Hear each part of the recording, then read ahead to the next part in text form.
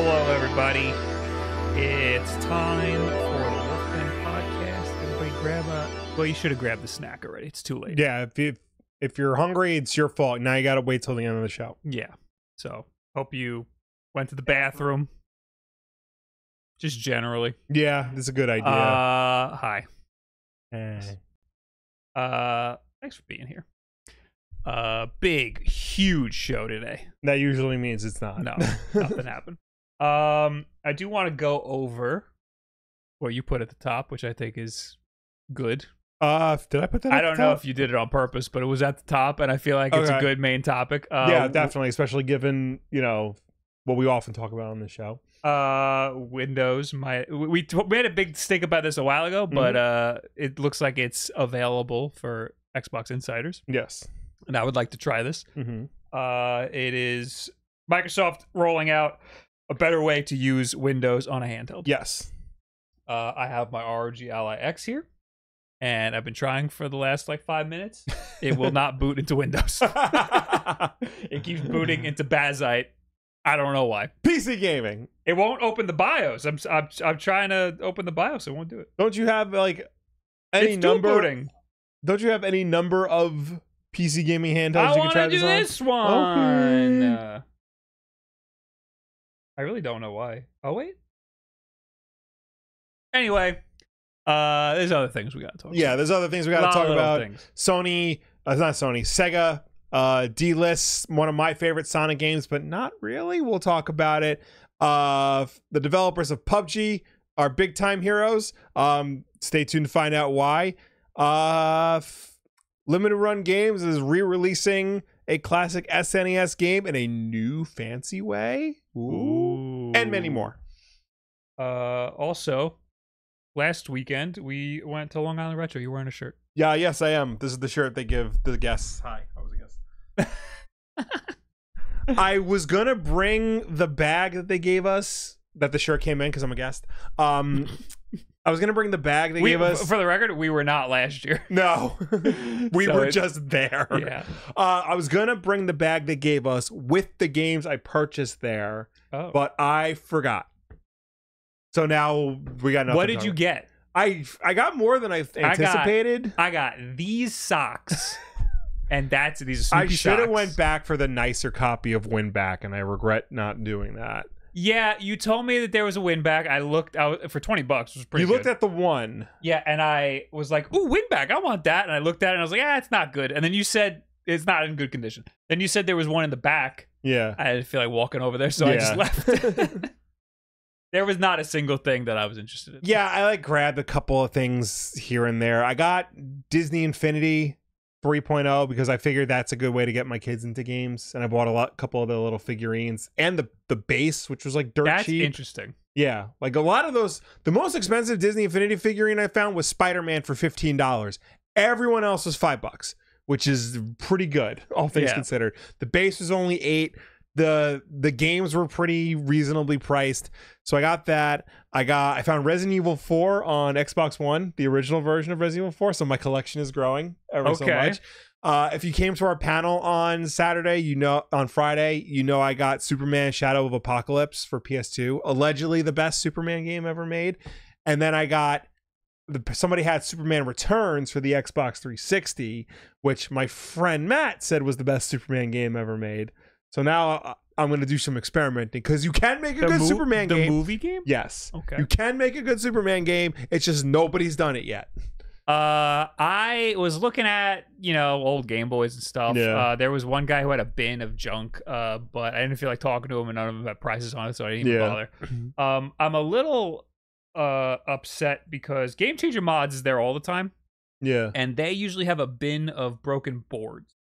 And I don't really know what I'm doing with a board, so I don't really want to like buy a board and then try to figure out how to fix it. Except, uh, I just saw this come up on Twitter. Uh, Mhm. Inside Gadget, uh, is now they now have these uh Mousebite Labs Game Boy DMG color chips uh, Okay. or, or chipsets.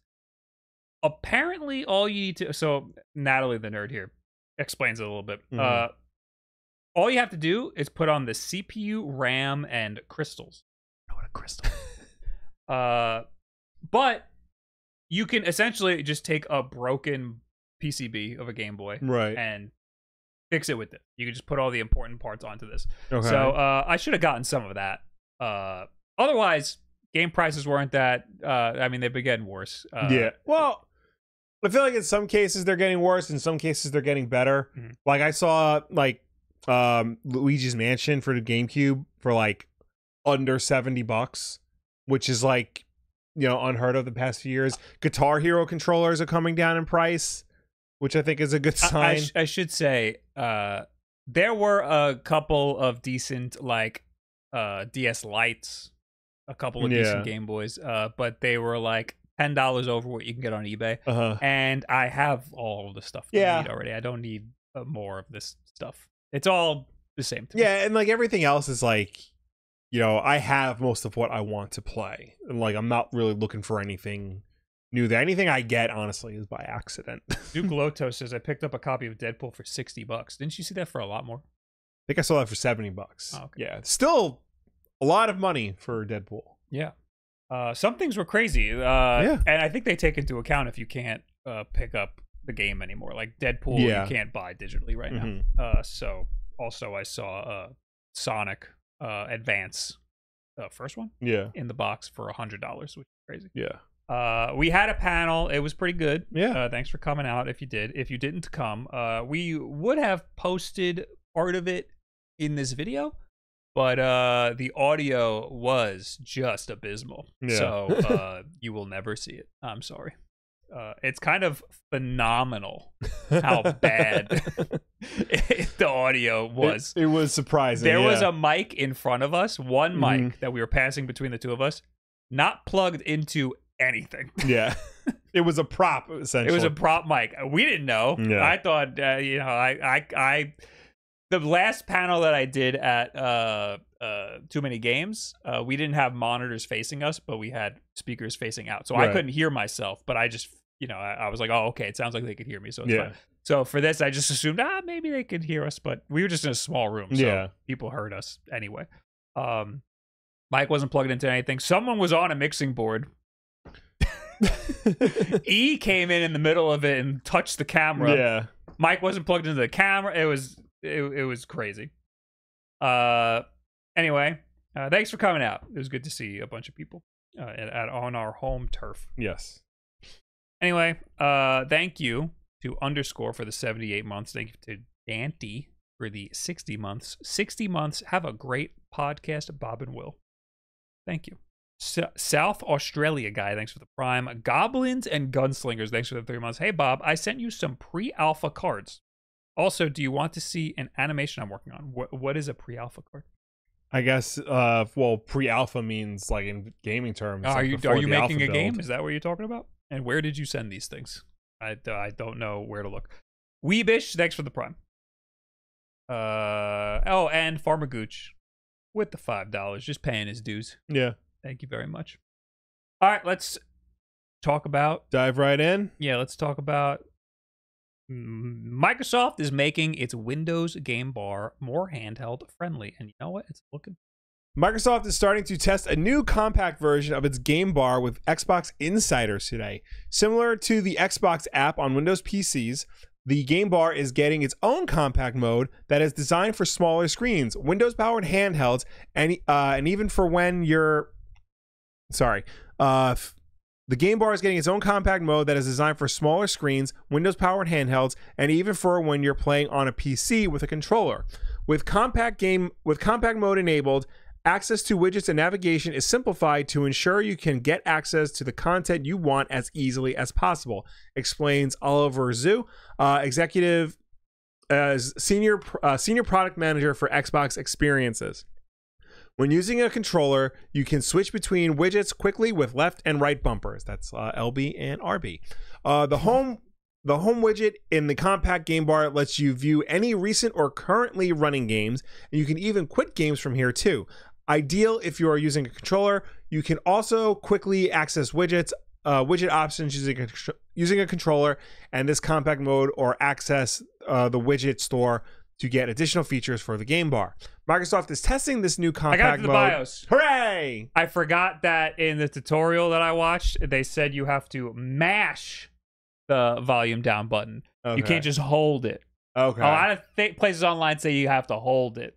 I forgot you just you literally have to just press it Right. over and over again. I sat here, I was pressing it for Mhm. like a the once you started reading the article, I've Yeah. been pressing it. I, and I can hear. I can hear the clicking. I'd finally booted into Mm. uh the the BIOS. Anyway, I'm sorry. Microsoft is testing this new compact mode for the game bar with Xbox Insiders today, and you can sign up to test it and then enable the new mode under settings. Microsoft has been gradually improving its Xbox app on Windows in recent months, including a compact mode and controller improvements for navigation and launching games.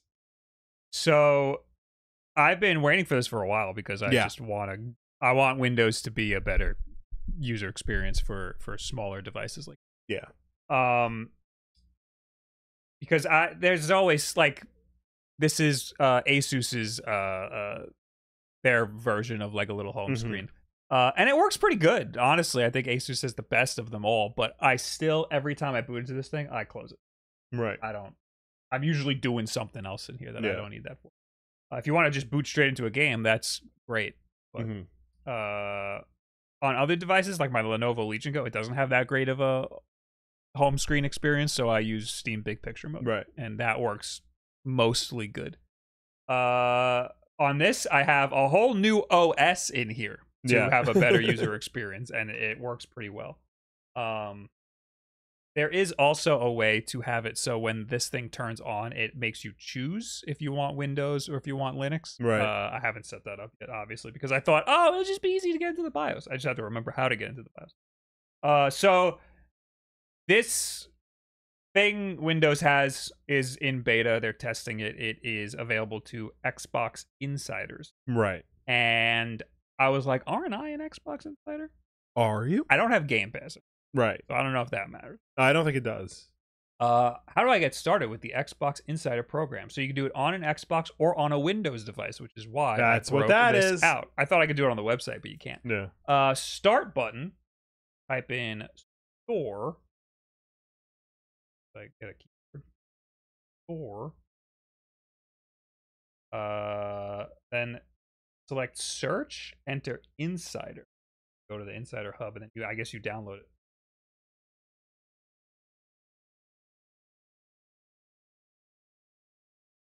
Insider Hub. It's a it's a it's its own app. Oh, I own it. That's good news. You own Xbox Insider. Oh, it says own, but it's not installed. So Right. I'll install it. And then that I think that means that I get it. You have to be like accepted. Oh, it says get or install for more information and blah blah blah. So then oh, what's required to get insider preview? Launch the hub, go to preview, select the preview you want, read the eligibility info, and then go to the details. Okay. So I think I might have it. Nice. Bob, did anyone approach you at Long Island Retro? Hey, you Wulff Den, let me get you in Smash. Like in the head? No. Uh, that happened to me at a Moe's once. And I got destroyed. That was like right when Smash came out. Previews. Doom Eternal PC mod preview. Interesting. So oh, can- that's right. They're adding mod support to that. Yeah. I can do a Palworld update. Okay. Xbox Accessibility Insider League. Game Bar SDK development. Is that what this is? think that's what you want. Right. Developers, try out Game Bar SDK previewed builds. This ring receives the Game Bar build with the SDK features that are still in development process. Users are uh, may experience serious SDK or Game Bar bugs. For a more stable preview version, then we recommend the Windows Gaming Flight that includes the regular preview version of Game. Uh, I feel like I want the Windows preview, don't I? Uh, there's nothing about like Game Bar or anything like that. I mean, it says uh, Game Bar SDK preview. Okay. I mean, I'll hit join. Hey, Wolf Bros, any tips on fixing my parents' marriage? Well, that's it. Um. You're really good. At Yeah, that. you gotta leave. You You're the You- you- problem. You, gotta go. There's one common denominator. Yeah. You're tearing them apart. Your registration is complete. Okay. All right. There we go. We can see this live. Oh no, this is a completely different thing. Look, it's like the thing that like Oh, okay. Yeah, I it see. pulls up uh like all of the you know, it's like an overlay. It's like Uh-huh. a weird like a weird overlay. well, I'm glad like they that. made this easy. Well, it's a preview, so Right. they they want to actively discourage people from trying it. Yeah. All right. Um Why does this remind me of Nokia's Windows phone? Are you talking about like the tile preview thing? So I guess what we should clarify is that like the, the Windows device, it's still a Windows device. Oh It- yeah, I mean I'm I'm going through it right now. Well, because what, what I mean is like when you boot up the machine, it goes right into Windows, like regular ass Windows. And the game bar is really like an addition to make it like easier to use with a controller and as a handheld. They're still not changing Windows in any substantial way to make it more handheld friendly. Right. So they've done something similar to this in the past. Mhm. Uh re- remember we made like a big oh update. Okay.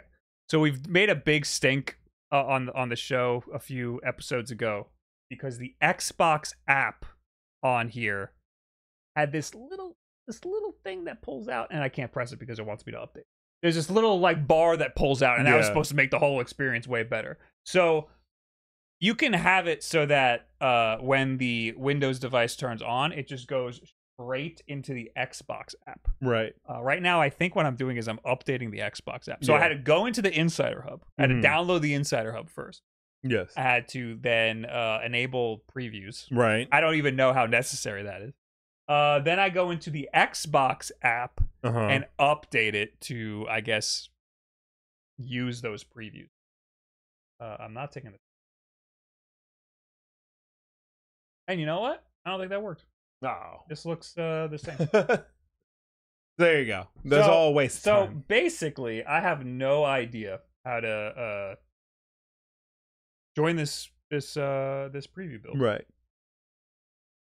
I guess all we can do now is just speculate and think about what it could be.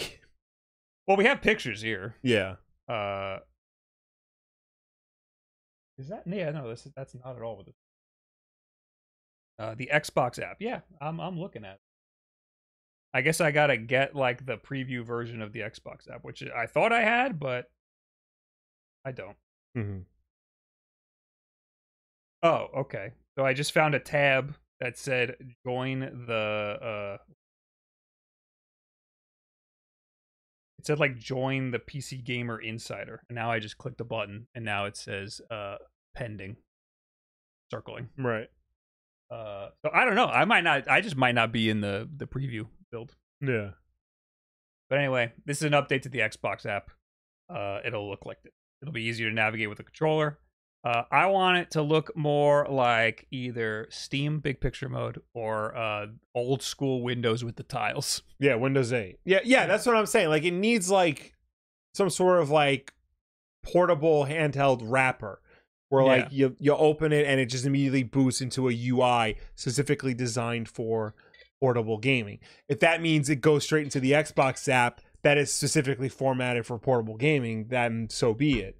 But being a being a laptop in a small form factor like isn't really cutting it. you Yeah, it's literally uh, a laptop OS. yeah. We talked about this a couple times on the show.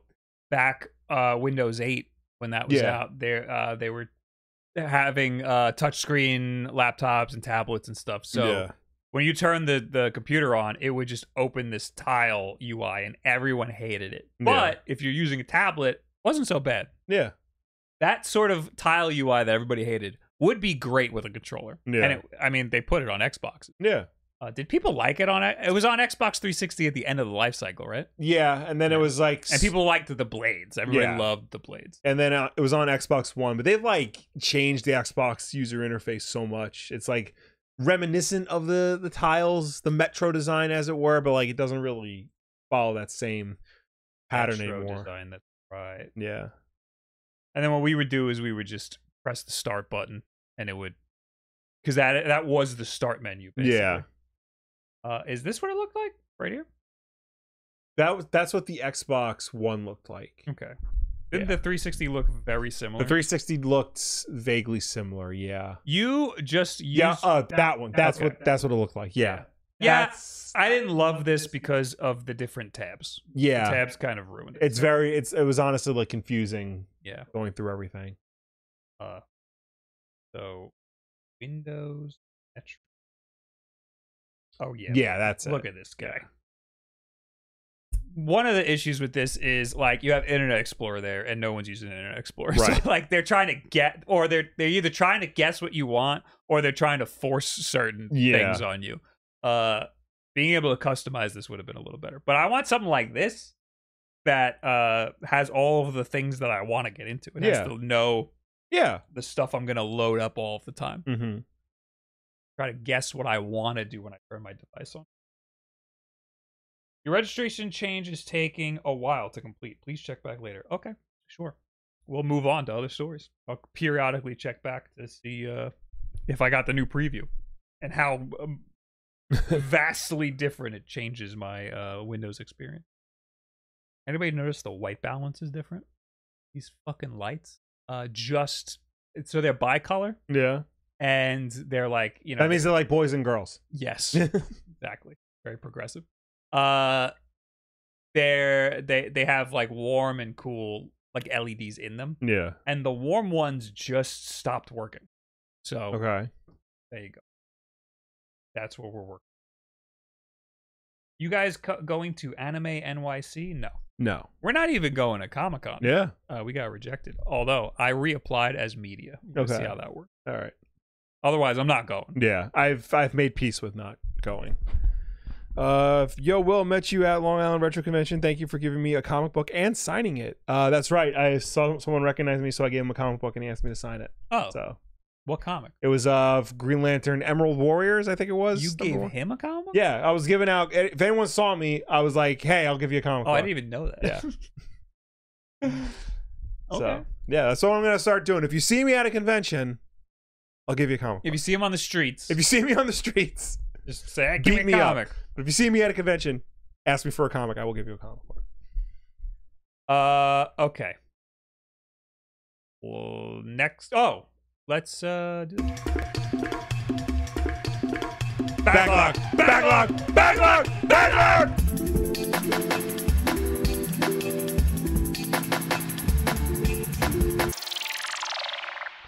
Hey, everybody! It's backlog time. It's early in the show, but yay, we know what? Shut up. Uh, this Shut is part up. of the show where we go through our video game collection, every game we've ever bought. We put into an Excel spreadsheet, and today we're going to pick one at random and talk about it, regardless of whether or not we played it. And we were just at a game convention, so games have been added. We are now up to 972. Oh, hell yeah!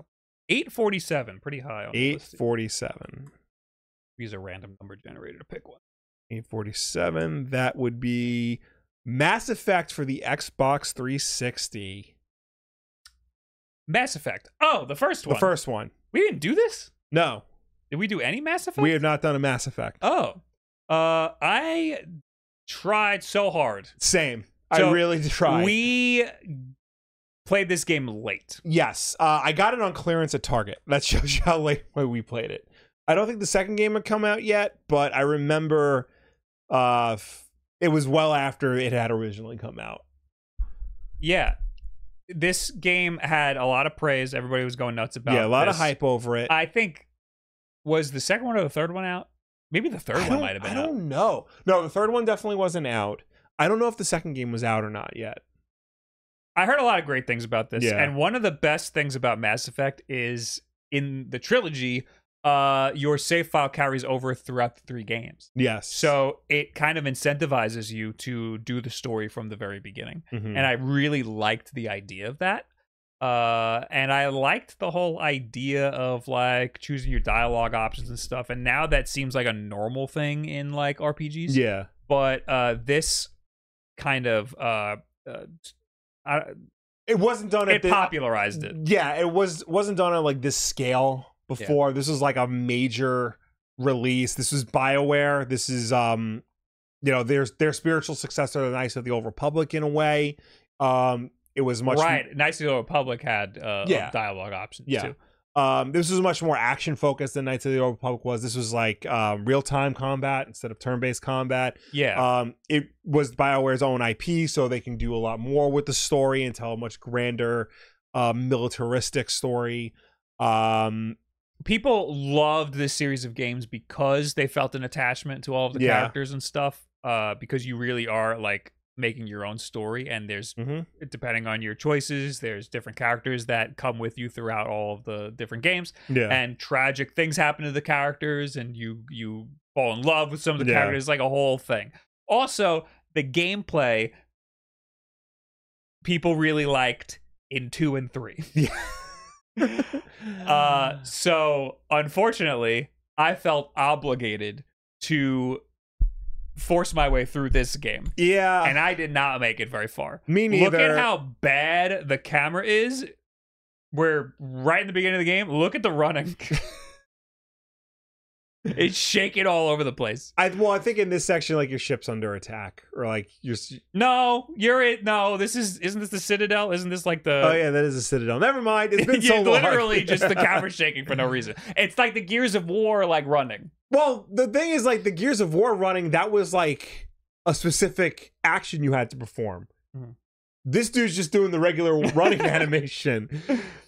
It the, the game mechanics were not great in this game. The, so the game is ostensibly a third-person cover shooter Mhm. with a lot of like heavy RPG elements. Like you you build up your character, your team, uh, your stats. You can specialize in different uh, abilities and functions. Um, the whole thing you could be Paragon or Renegade based on your gameplay actions and specifically your dialogue actions. Uh, you can either be like the savior of humanity or the devil in a sense.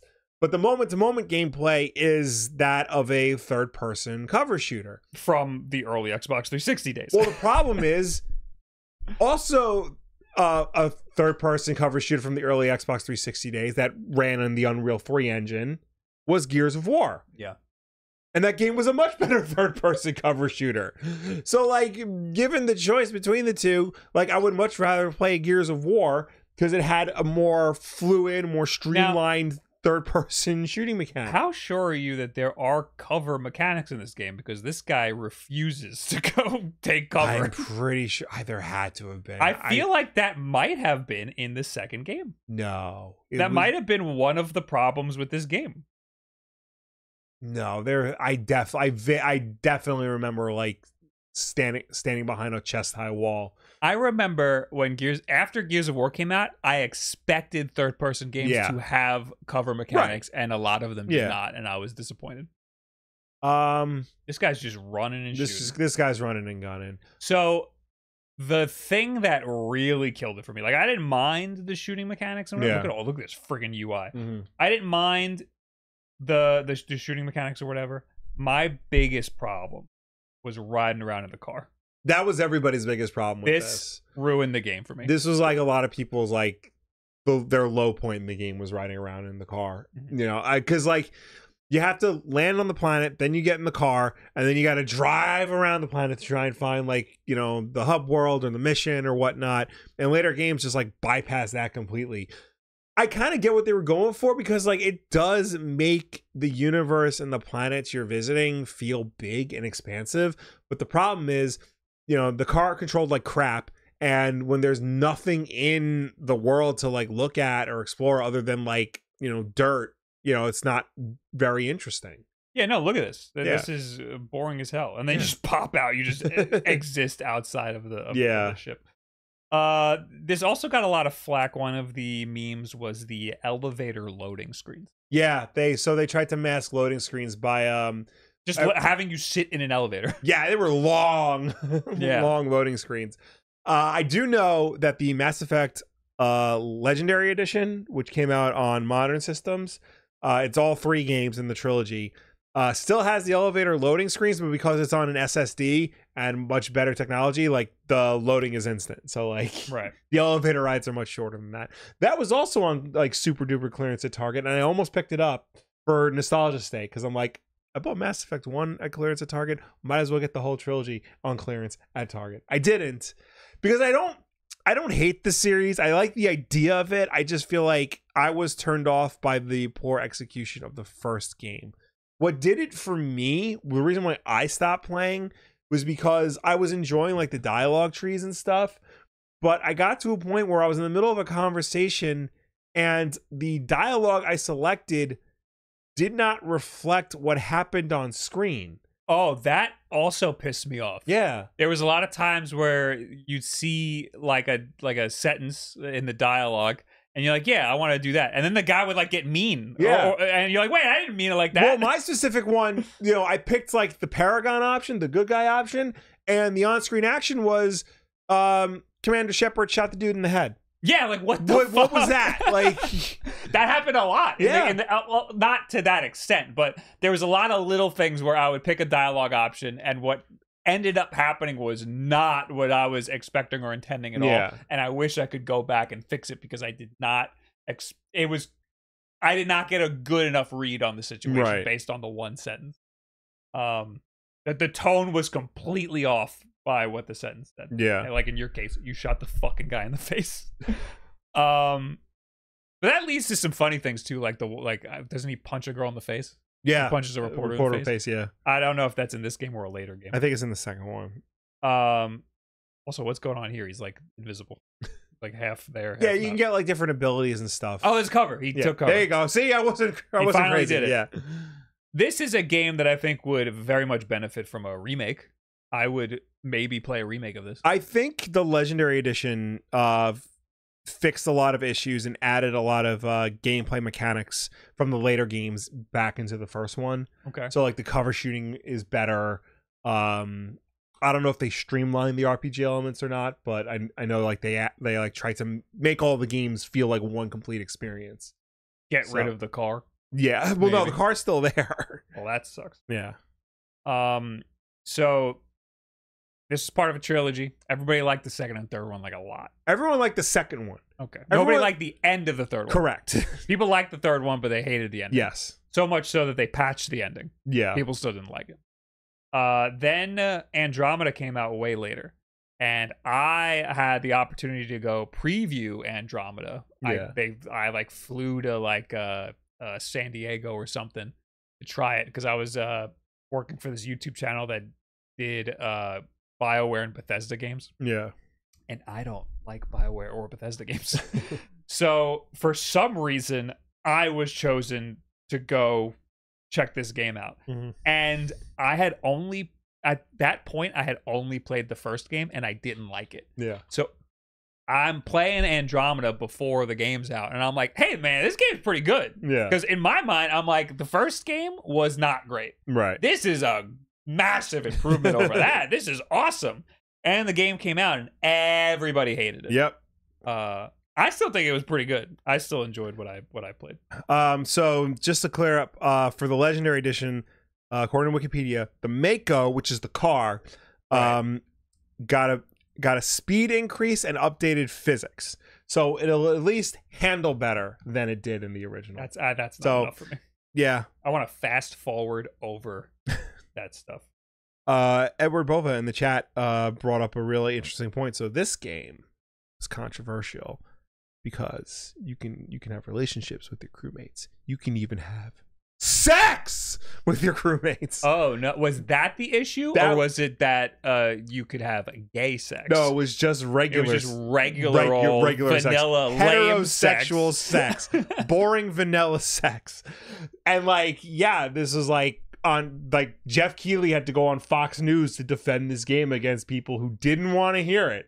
They're just like there's sex in this game. Children play video games, and you poor Geoff Keighley's like. "Th- There's a there's an age rating on it. Like there's an M-rated game. You- shouldn't let your children play M-rated it's games literally a movie. It's what I- literally like a movie. The best. I remember of that was he asked the one of the women who was on there who like wrote some dumb book about like oh children protect the children whatnot. He asked her, have you played the game? And she said, no, of course I haven't played the game. So people who play Mass Effect go to the Amazon page of her book and just like review bombed it. And all they said was, I didn't read the book, but but it offends me Yeah. greatly. so yeah. Um, Thank you, Mass Effect, for making sex in games okay because sex Is awesome. okay. Sex is cool, man.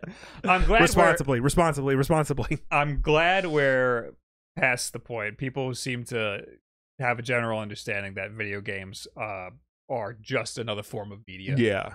Uh, I think part of that is that kids these days just playing Fortnite. Yeah. They're not playing stuff like this. um. So anyway, if this is a hard one to recommend because uh, the first game's rough, yeah. and I don't think the fixes in the Legendary Edition are going to do too much for you. I mean, maybe because like again, they also updated combat to make it feel more like this the next games with aim assist, um, a dedicated melee button. Um, boss encounters have been adjusted. Uh, there's more frequent uh, auto saving. So like, if you do want to try Mass Effect, the original Mass Effect, the Legendary Edition would be the way the go- the way to go, and you get the other two. So Yeah, there there's like two months worth of video gaming right there for you. I'd imagine they're all on Game Pass, right? I don't know. So the first Mass Effect game was actually published by Microsoft. Yeah, it was a it was an exclusive. Yeah, but then EA bought BioWare and BioWare I guess owned the rights to Mass Effect still. So then they slowly trickled it out to other systems. The uh Legendary Edition is on Game Pass. Okay. Uh, It says play with. Oh, cuz um it's probably pa- part of uh, the EA play. Oh, okay, yeah, Electronic Arts. Yeah. Okay. So try it with Game Pass. Uh, at least you can get it for pretty cheap. Uh, Yeah. but uh, it's it's not uh easy to recommend because you got the first game is rough. So if you want to skip the first game, uh, we say that the uh your save file carries over between them. Yeah. But if you jump in on the second or third game, there's a little cutscene that has you make op- like dialogue options uh, that basically creates the story from. It's like a it's like a quick little streamlined Yeah. uh, version of the first game. I mean, also too, like the whole big thing is, that, you know, the character Commander Shepard. You create Commander Shepard. Uh, they can be male or female. You can adjust their looks to be exactly what you want them to be. Um, and like your Commander Shepard carries over from game to game, but each game conveniently comes up with a way to like obscure their face in the beginning, so that if you are just jumping into the second or third one without playing the first one and don't have a character to import, you can just create a character right there. yeah. So uh, if you do want to just jump into the second or third one, you can. But uh, if you're cool with just uh, forcing through something for the story, uh, go for it. Again, it's on Game Pass. You can get it for. Uh, thanks for watching. The backlog. We'll see you later. Thanks for uh, coming to a podcast. Thanks for the people who are here watching the podcast. You can see them making a little chat message right here. Bye. Bye. Uh, all right. We got a couple notifications here. We got Zeth, the Dark Mage, three months. Hey, Bob. Hey, Will. Just got my RG35XXSP today. Happy Tuesday. Nice. You got one of those? The SP, right? Yeah, I'm actually enjoying it. Shocker of all shockers. wow. I'm even I even recommended it to two of my wife's friends who were like you know want to play like older games. It is the best recommendation because it just works. Yeah. So like I showed it to him, I was like, you can just put anything on here. Um, if you get it and you don't know how to put anything on here, just give it to me and give me like 20 minutes. I'll do it. Just make sure they don't open the first tab. Yeah. The second tab. They got to do it from the second Well, I sent them your video afterwards. Oh, so, good. Yeah. Uh, one me games. Thanks for the two bucks. Off topic. Got an RG Ally X for six hundred and thirty dollars at Best Buy Open. That is Pretty good. a lot of money off. That's hundred and seventy dollars off. That's Yeah. crazy. Hey, if you want to get an Ally X, uh, use the link that's in my video on the Ally X because uh, that was sponsored by Best Buy and the video didn't do good. and I would like them to sponsor me again. So please use that link. If you want to buy anything from Best Buy, actually, just use that link to buy anything. I'm Yeah. sure it'll work. Uh, Will, do you mark on your list which games you did as backlog episodes? Yeah, Yes. like they get highlighted in yellow. uh which ones we've done and which I could have ones we have. sworn we did on Mass Nope, it was not yellow. Okay. Okay, I'm sorry. Uh, all right. They actually did say that this game could have been AO rated. Asked why it wasn't. Because you don't see cock. You don't Like, see anything. Like it, it's fully clothed. They, they, it's like a movie. Not even because like some it's a mature rated game, which is equivalent to an R rated game, but in R rated movies you you can see boobs and butts and stuff. yeah. This game, it's not even that. It's like what you would see on like you know network TV after ten o'clock. Everybody's fully clothed. They're like rolling around and stuff, and like the the picture keeps fading to black, and it's over in like five seconds. You know, and meanwhile the media made it seem like it's like just just hardcore fucking. There's way better game sex scenes now. Yeah. Heavy Rain had like a much more like in like intimate and like uh what's the word I'm looking for? Involved. You, Had, to, Involved. you had to use the. You You, had to you you had to it. you had to actually literally play You it. had to actually like hit the right buttons to unhook her bra and stuff. Sick, dude. Heavy Rain we covered on the backlog. I like that game. Yeah, you. Yeah. I remember you played that a lot. Yeah. you. Uh, you were always, It was a very good game. And our mom was into it because she liked watching me. especially that one scene. I'm giving up on uh trying to get the, the Xbox thing on here. Your registration is com- uh, it's taking a while. Please check back later. Can I close it? Nope. Whatever. All right. Uh, hey, we got more news to go through. How Oh, about yeah. Sega delisting Sonic Generations? What the? Oh yeah, they they did something naughty. Well, here's what here's what happened. Sega is delisting 2011 Sonic Generations from Steam and the Xbox Game Store to make way for the game's upcoming expanded remaster, Sonic X Shadow Generations. But the publisher is taking a rarely seen approach in its plan to remove the original game from sale. It will both delist the title from sale and make it available for people who really want to purchase it. While the original Sonic Generations will be removed from sale as a standalone title on September 9th, Sega said on Friday that we've heard your feedback and we want to help preserve the game. Therefore, Sonic Generations will be available via bundles of other Sonic titles on Steam and Xbox. The publisher said on a Ah. post on Twitter, um, ex- existing owners of the title will still be able to download and play the game as well. Lastly, we are happy to confirm that mods for the Steam version will not be affected. So, it, are they trying to do an Overwatch 2 situation where the game is now Sonic X? Shadow? No. So Okay. basically, what this means is, so they, you know, they sell bundles of Sonic games on Steam. Mm-hmm. You have to buy one of those bundles in order to get Sonic Generations. I, I understand, Yeah. and I don't like that. But Right. Well- uh, I'm trying to understand why they're getting rid of the game completely So because they don't want people to confuse it with the new one that's Correct. It's similar to what they did. Um, they delisted Sonic One, Two, and Three, and and Knuckles from like stores when the Origins collection was coming out. Right, right, right. So So yeah, they- they want you to get that Right. version. I understand. Right. But I guess you know because it looks like Sonic Generations and Sonic X Shadow are are significantly different.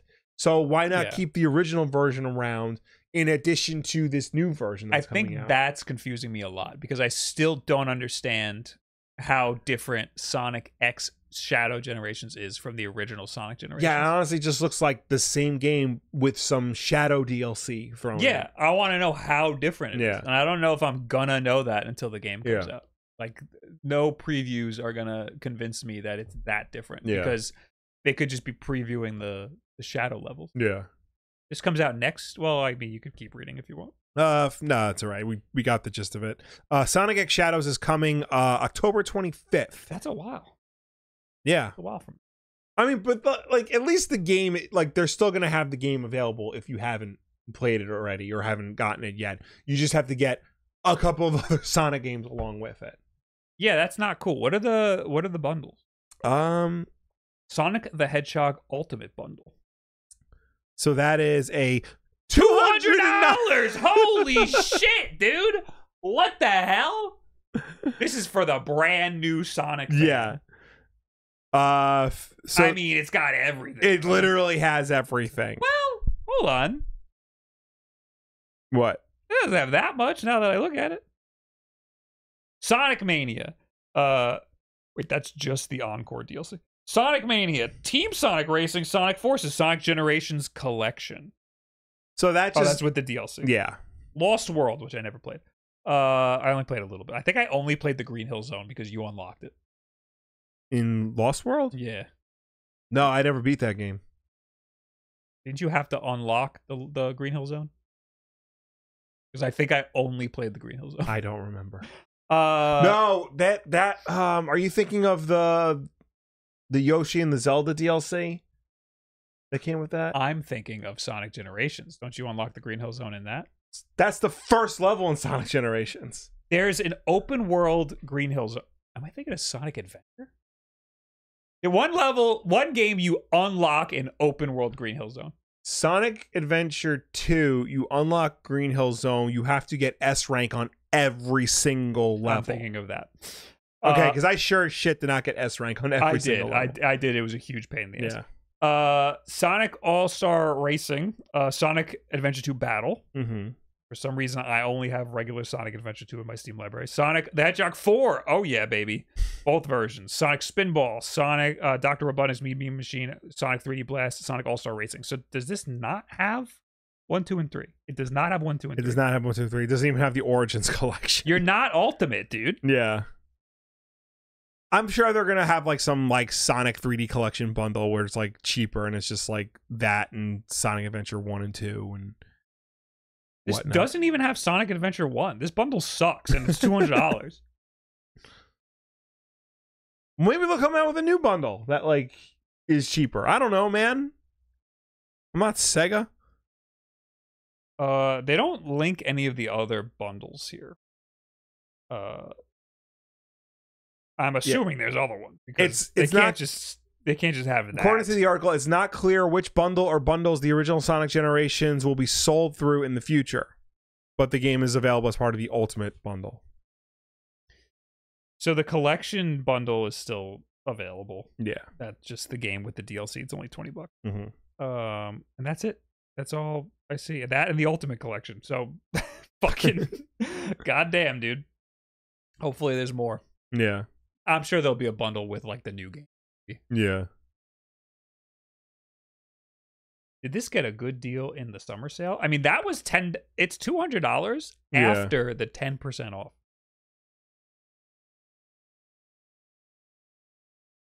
Still need 06. I would buy 06 if it came to Steam. I would buy that in a heartbeat because I want to play. I actually want to play it, and I don't want to break out a 360. Yeah. And that's the only way to play it right now. Because I could just give you the disc for the 360. Maybe version. that is a good candidate for a 360 emulation. I have never emulated a 360 game because it Yeah. just seems like a pain in the ass, but I think it's gotten a lot better now. Yeah, you can do. I know you can do it on a Steam Deck. I don't know how like stable it is. Mhm. That game's gonna be rough because you don't know if it's glitching out because it's the game or because it's the emulation. Yeah. All right. Uh, so that sucks. We don't like that, but we'll see how that plays out. In some good news, question mark. Uh, Krafton, everybody's favorite Krafton. Yeah. Everyone loves Krafton. Who the fuck's Krafton? Acquires Tango GameWorks and Hi-Fi Rush IP from Xbox. PUBG publisher Krafton has acquired Tango GameWorks and Hi-Fi Rush IP from Xbox as part of a strategic agreement. The firm says it is working with Xbox to enable a smooth transition so that Tango team can continue developing the Hi-Fi Rush IP and explore future projects. Tango GameWorks is one of four Bethesda studios that Microsoft announced plans to shut down back in May. Uh, it was formed by Resident Evil creator Shinji Mikami in 2010 and was responsible for The Evil Within, Evil Within 2, and Ghostwire Tokyo before launching Hi Fi Rush in 2023 to critical acclaim. Xbox acquired the studio in 2021 as part of a $7.5 billion purchase of ZeniMax and it, uh, Bethesda. Despite the critical success, Microsoft announced it will be closing Tango GameWorks as part of an effort to focus on high impact titles. It also announced closures of Redfall developer Arkane Austin, Mighty Doom Studio, Alpha Dog, and Roadhouse Games. Krafton said the acquisition will have no impact on the availability availability. A beep it, a beep it. That's all, folks. On the availability of Tango's previous releases, and that they will remain available uh, where they are currently. The firm said that The firm said in a statement, this integration enforces Krafton's dedication to expanding its global footprint and enhancing its portfolio with innovative and high quality content. The addition of Tango Gameworks represents a strategic alignment with Krafton, with Krafton's mission to publish the to push the boundaries of interactive entertainment. What does it mean uh, that the games will be available where they currently are? Does that So sometimes when a game when a game studio gets acquired by another studio, the Mhm. games get taken down and then get put back up again so that they can be bought um and the money goes to the new publisher. is so- it's my understanding that they're only purchasing Hi-Fi Rush. They're purchasing all of Tango Gameworks. Well, they're purchasing all of Tango GameWorks, but they're the only IP they're acquiring is Hi-Fi Rush. My understanding was that uh, Microsoft is keeping, I think, all of the other IPs. okay, interesting. This was uh, positioned as like when thi- when this news broke, Twitter was going nuts and acting like this was great, and I don't know if it is. I mean, it's good that you know a studio was essentially saved. It's good that like people didn't lose their jobs or like you know have the possibility of keeping their jobs. I don't know if that happened. Like the studio closed, didn't it? Right. I I That's what- assume that's- so. That's where I'm confused. Right. I thought the studio closed and they all lost their jobs. Uh I'd imagine that barely any of the people who worked there are gonna be here. I mean, I don't know. I mean, I don't think Shinji Mikami's coming back. Yeah, no. Well, But he left. I he think, left a while ago. Yeah, before this even happened. Yeah, he left when uh, Hi-Fi Rush was released. Which I think is part of the reason why they shut this down. they essentially said that's the reason why they shut Yeah. it down. So so I don't know what the hell they're gonna do with Hi-Fi Rush. yeah, You know, I don't know if they're gonna have the people who worked on it work on a second one. Like that's part of why I think a second one would have been great. Is if Yeah. the same talent works on it. Now, Mhm. now who knows what's gonna happen? Uh, this is the PUBG guys, publisher. Yeah. yeah, or publisher. Yeah, It's yeah, the the, publisher, people yeah. who made PUBG. Mhm. I don't want them working on anything. Yeah. that fucking game is broken all hell. Um, that that game's held together by duct tape. Uh, I don't know what else Krafton has done. I looked into it uh, when I heard this news break, um, and it seems like it's basically just PUBG, the Callisto Protocol. The bad um Dead Yeah. Yeah, so they're like their their discography doesn't look that great. Right. So who knows? They got a bunch of mobile stuff too. Maybe they're gonna make a Hi-Fi Rush mobile game. Honestly, it wouldn't be too bad. Yeah. hate that too much. So I don't. I I need to know a lot more about this as it unfolds Well, I because I'm not, you know, as happy as everybody else is about this. I think this is the first step towards like the continuation of Tango Mhm. uh, as a studio and also Hi-Fi Rush as a series. Because they they were pre- I think they were prepping a Hi-Fi Rush 2 right. before Microsoft's like actually we'd rather just shut you down. Yeah, So. I'd like to know how much of that is going to carry over. How how much of Yeah. those people are going to continue to work on this. All right. Uh also, Boss Team make Bo- Boss Team Games Yes. making a Halloween game with, John, Carpenter. He's notably video gamer, yeah. notable video gamer John Uh, Carpenter. to quote him, I like Sonic the Hedgehog, even the one where he turns into a werewolf. oh, So there you go. Real one right there. Two new games based on the 1978 horror classic Halloween are in development at Boss Team Games. Uh, while details are limited, both games are apparently being developed in conjunction with the producers of the Halloween franchise. What's more, one of the games is being developed in Unreal Engine 5 and will include input from original director John Carpenter. As a huge gamer myself, I'm thrilled uh, to help bring Michael Myers to life again in this game, and my hope is to scare you silly, said Carpenter, who will be intimately involved with the development of the new projects. According to the official press release, the game will allow players to relive moments from the film and play as classic characters from one of the most iconic and important horror films of all time. The two new games are being developed in association with uh, Compass International Pictures and Further Front, with the Unreal Engine 5 project still early in development. Uh, while Halloween is now more than 45 years old, there have been a few video games based on the legendary slasher franchise. Uh, the closest the series came uh, to see an actual adaptation was 1983's Halloween on the Atari 2600, where you play as a babysitter, presumably Laurie Strode, trying to find a safe room uh, while being hunted by Michael Myers. The Michael Myers was also one of the main villains to appear in Dead by Daylight. Um, so yeah, we're we're getting Halloween games. One of them is an Unreal Engine 5 game being uh, worked on with John Carpenter, which is great. He needs to do more things in video games because I think he's happier doing video games than he is doing movies. You know What else has he done? he he was involved with um there was a John Carpenter's The Thing video game where he had like input in, and there was another. There's a game coming out. I forgot the name of it. It's like John Carpenter's Howling Commandos or some shit. Okay. I'll look it up. But like, I don't know. That seems mostly like, hey, can we put your name on this? And I'm sure he's like, yeah, I like money. yeah, I'm not. Uh, you know, I'll I'll reserve my judgment for when the game comes out. Well, maybe you will reserve your judgment uh, because today, that was yesterday's news. Today, Boss Team revealed one of those two Halloween games already. It is a 16 bit platformer based on Halloween and also a 16 bit platformer based on Evil Dead. what the hell?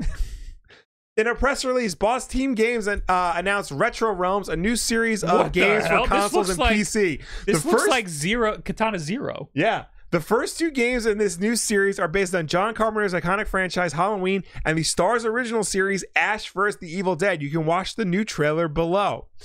Uh, everyone at Boss Team Games are huge fans of horror, and getting to work with these legendary properties is a dream come true. Boss Team Games CEO Steve Harris explained in a press release. Uh, it has been an amazing experience collaborating with WayForward and our licensors to create not one, but two fast paced 90s style arcade style uh, games while remaining true to the original Halloween film and the Ash vs. Evil Dead series. The trailer dropping today gives fans a taste of the gore filled gameplay and fast paced action, and we can't wait to show you more. Both Retro Realms Halloween and Retro Realms Ash vs. the Evil Dead, as depicted in the announcement trailer, are 16 bit platformers. Both games are coming to PC, PS5, Switch, and Xbox on October 18th, and both games can be purchased separately via digital download for $25 each, or you can purchase the physical double feature bundle, which will retail for $50. Although both games can be purchased and played separately, Boss Team Games incentivizes people to purchase both. As the studio notes in the press release, purchasing both will grant players access to new features. The announcement of these two games is, uh, is just one of the many projects that Boss Team currently is working on. As said before, they also have a Unreal Engine 5 Halloween game being worked on with John Carpenter. So is this one game or two games? It's two games, Mhm. But they want you to buy both of them because obviously they do. If you do buy both of them, um, it's like Pokemon. Like there's stuff that goes back and forth between games. Oh, so the levels are the same. The character is different. No, the uh the levels are designed for each like Okay. the levels like this is uh right now we're looking at the Evil Dead one, so this is specifically Evil Dead influence levels. But if you buy the two games, then Ash from Evil Dead can go to Haddonfield, Illinois, where Halloween takes place, and Michael Myers can go to the cabin from Evil Dead. Okay. So, So that's cool. So so the, the mechanics are it's the same engine. It's the Yeah. same like uh, uh mechanics, but the levels are different and the the the characters play differently. Um this looks awesome. yeah, It, I- don't know how I feel about playing as Michael Myers. yeah, that's the That's weird, weird. one, you know? A- in an action game. Yeah, because he's not the hero. Yeah, and uh you're giving him like a little bit of mortality. Yeah. Because obviously the the the objective is to not get killed by all of these things Yeah. around you. Yeah, and the thing with like Halloween, like the like the reason why I like Halloween more than I like like Friday the Thirteenth or like some of those other slashes is because like it felt much more grounded than the rest of them. Like it never got too big. It never got too. I mean, later sequels did obviously, but like the good Halloween movies, like the original, like just felt very like down to earth and like the the fear was just like not knowing why he keeps coming. You know. Mhm. Yeah. Whereas this game, he's like just fucking going nuts and whatnot. Yeah, it's like a, he's like it's just like an action Yeah. movie. So that, that's weird. like tonally weird, but you know, I mean, it makes sense for Evil Dead. yeah, Yeah. So I mean, this looks cool. Yeah.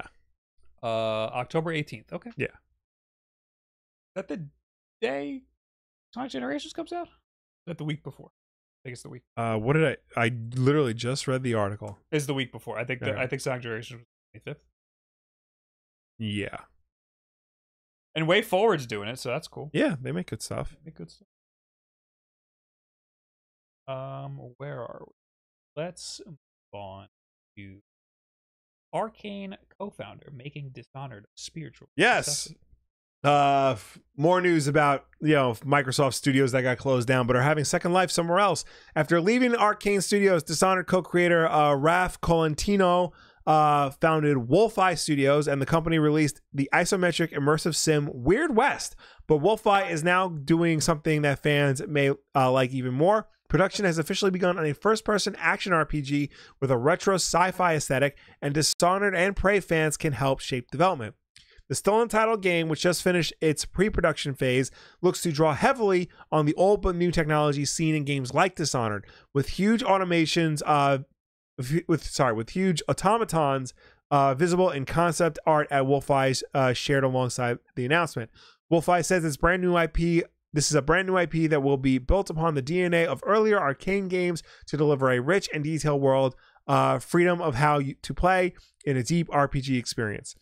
With Dishonored Studio Arkane Austin shuttered by Microsoft, that may make Wolfeye's game uh, its spiritual successor, and Colantonio uh, is confident in the team's vision, but he also values your input. A sign-up form for the cha- for the chance to get into a limited alpha test is available on the studio's website.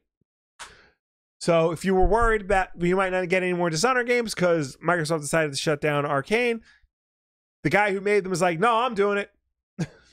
I like Dishonored. Yeah. Um, I started playing the second one. I didn't like get very far in it. I should really like pick that up again and like try to finish it because the first one was very good. it's very good. It's a cool uh stealth-ish Yeah. uh first person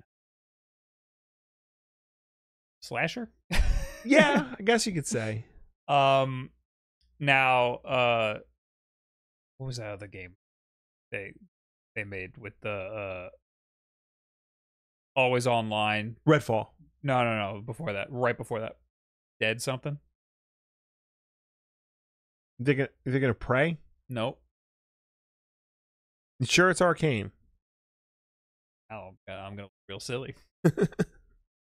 Because Arkane is known for Dishonored, Prey, and Redfall. Those that, are the games. That one, oh, Deathloop. Deathloop. Yeah. Uh, it gave me uh Dishonored vibes, but uh, yeah. I wasn't too. That was another game. People loved that game, and I was like, like- I'm not, I'm not feeling it. Maybe I should like actually like sit down and play it because I was playing that on like the Steam Deck. there was a lot of like fucking like things that the game was trying to get you like before you would start a, a, a level first of all it's a loop so you play Yeah. the same levels over and over again uh before you'd start it they'd like tell you all these things that you need to do and it wasn't very clear there was no clear like Yeah. path to just like ending the game uh the most fun i had in that game was uh somebody was stream sniping me and Yeah. like try like entering my game and killing me Yeah. uh and that got very annoying but Yeah. that was a unique experience that i can only have in death So that's why I would turn that off because I don't want to play with anyone else.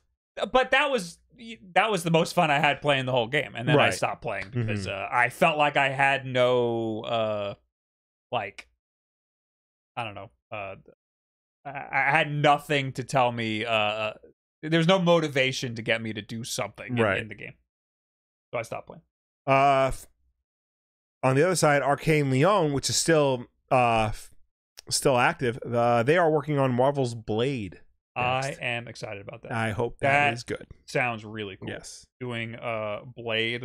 I mean, you got Dishonored Yeah. could very easily just yeah. be a, a skin swap with Blade. All right, so I've been sitting here messing around with my uh, Game Pass thing. There's a lot of different tabs and stuff to go Right. back between the Insider Hub, the uh, Xbox app, uh, the preview thing. It made me take a survey for a second. Now it's making me record my friggin' uh, screen, and I'm not gonna do that. Right.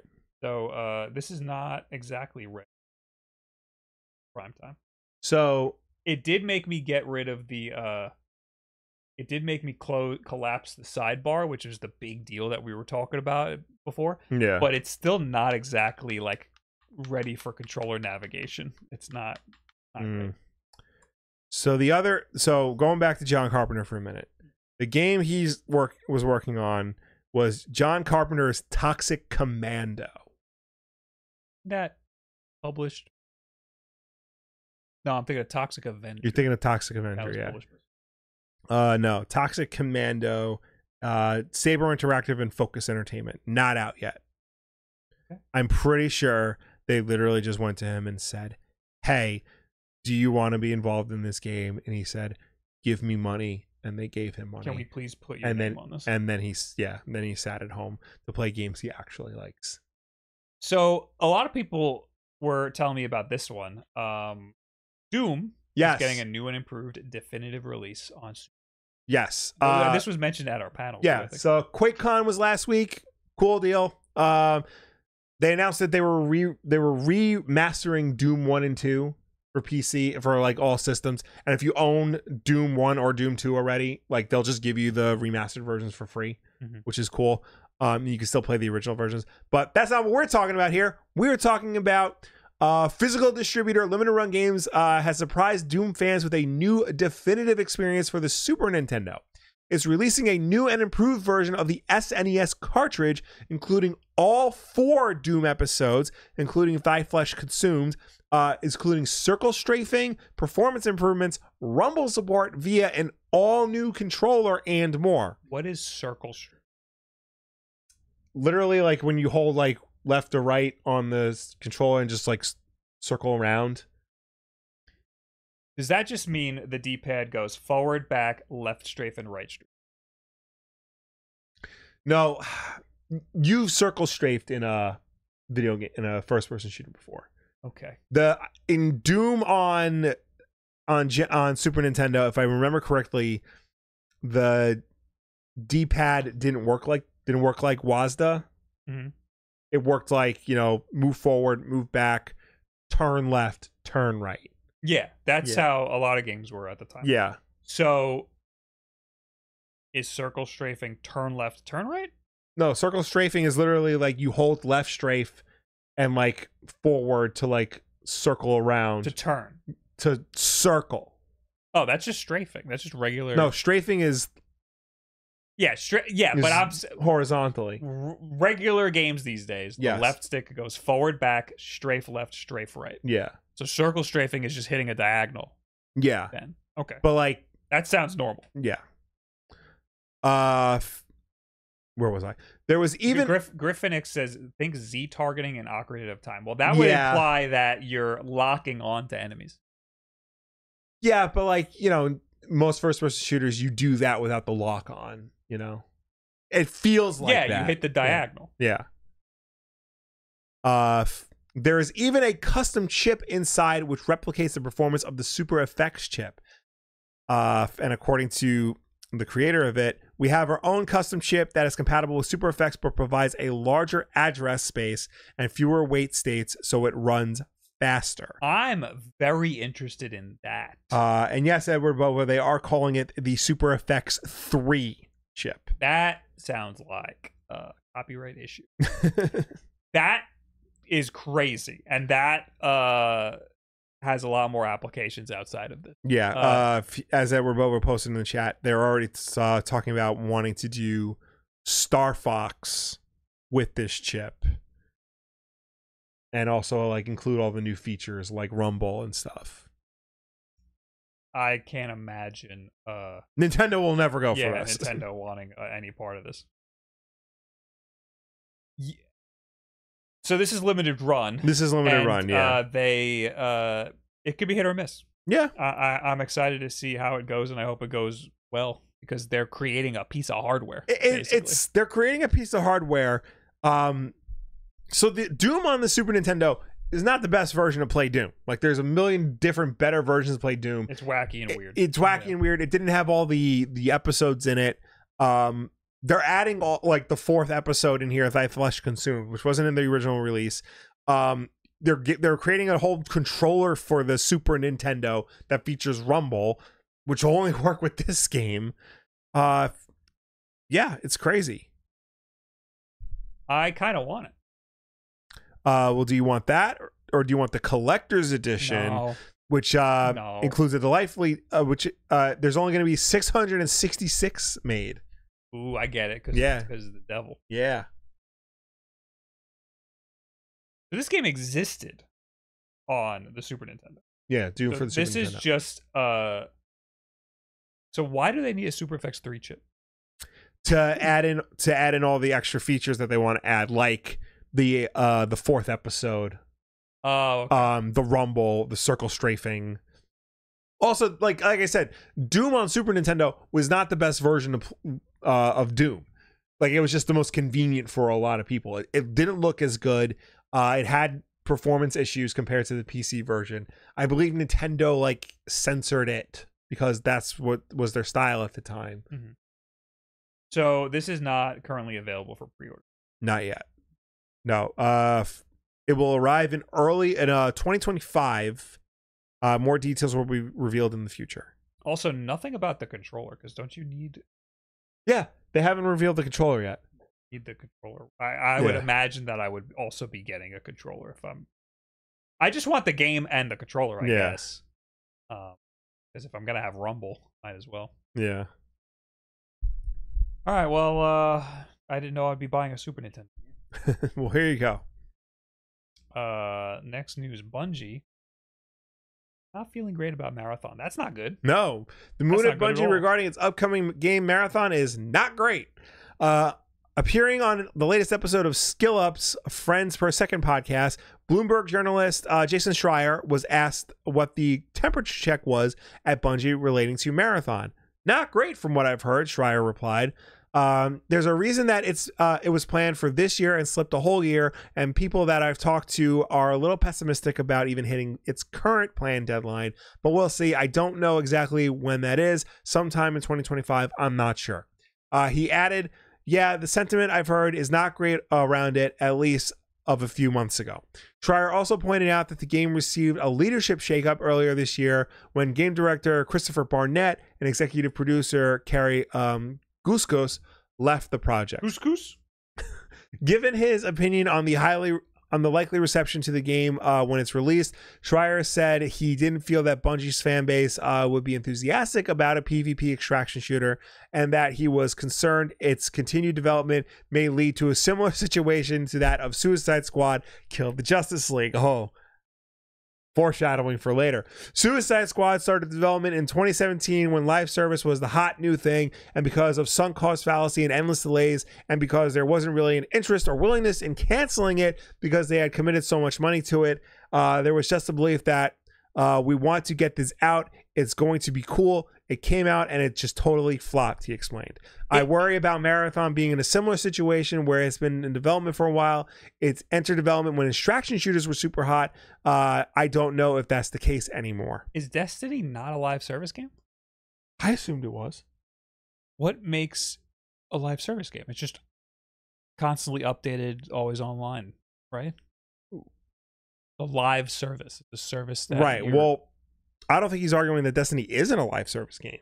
he's arguing that Marathon will suffer a fate that other live service games have suffered.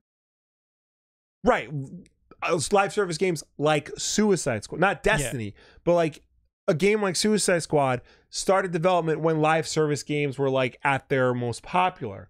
But it came out so late in the game that like people are over live service. Well, well, when extraction shooters were popular, it entered right. the well, space when all the publishers were trying to force live service games on people. right. I wouldn't well, say he's they were ever comparing what happened to Suicide Squad with what he fears is going to happen to Marathon.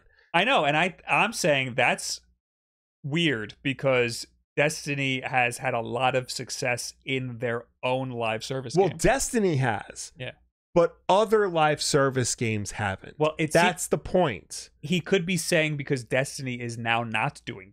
He's he could be saying that There's no live service games aren't. Did you good. listen to what I, I, read? listened to what you said, and I'm, I'm telling you, I'm confused why the fuck he said that because the whole company is live service games.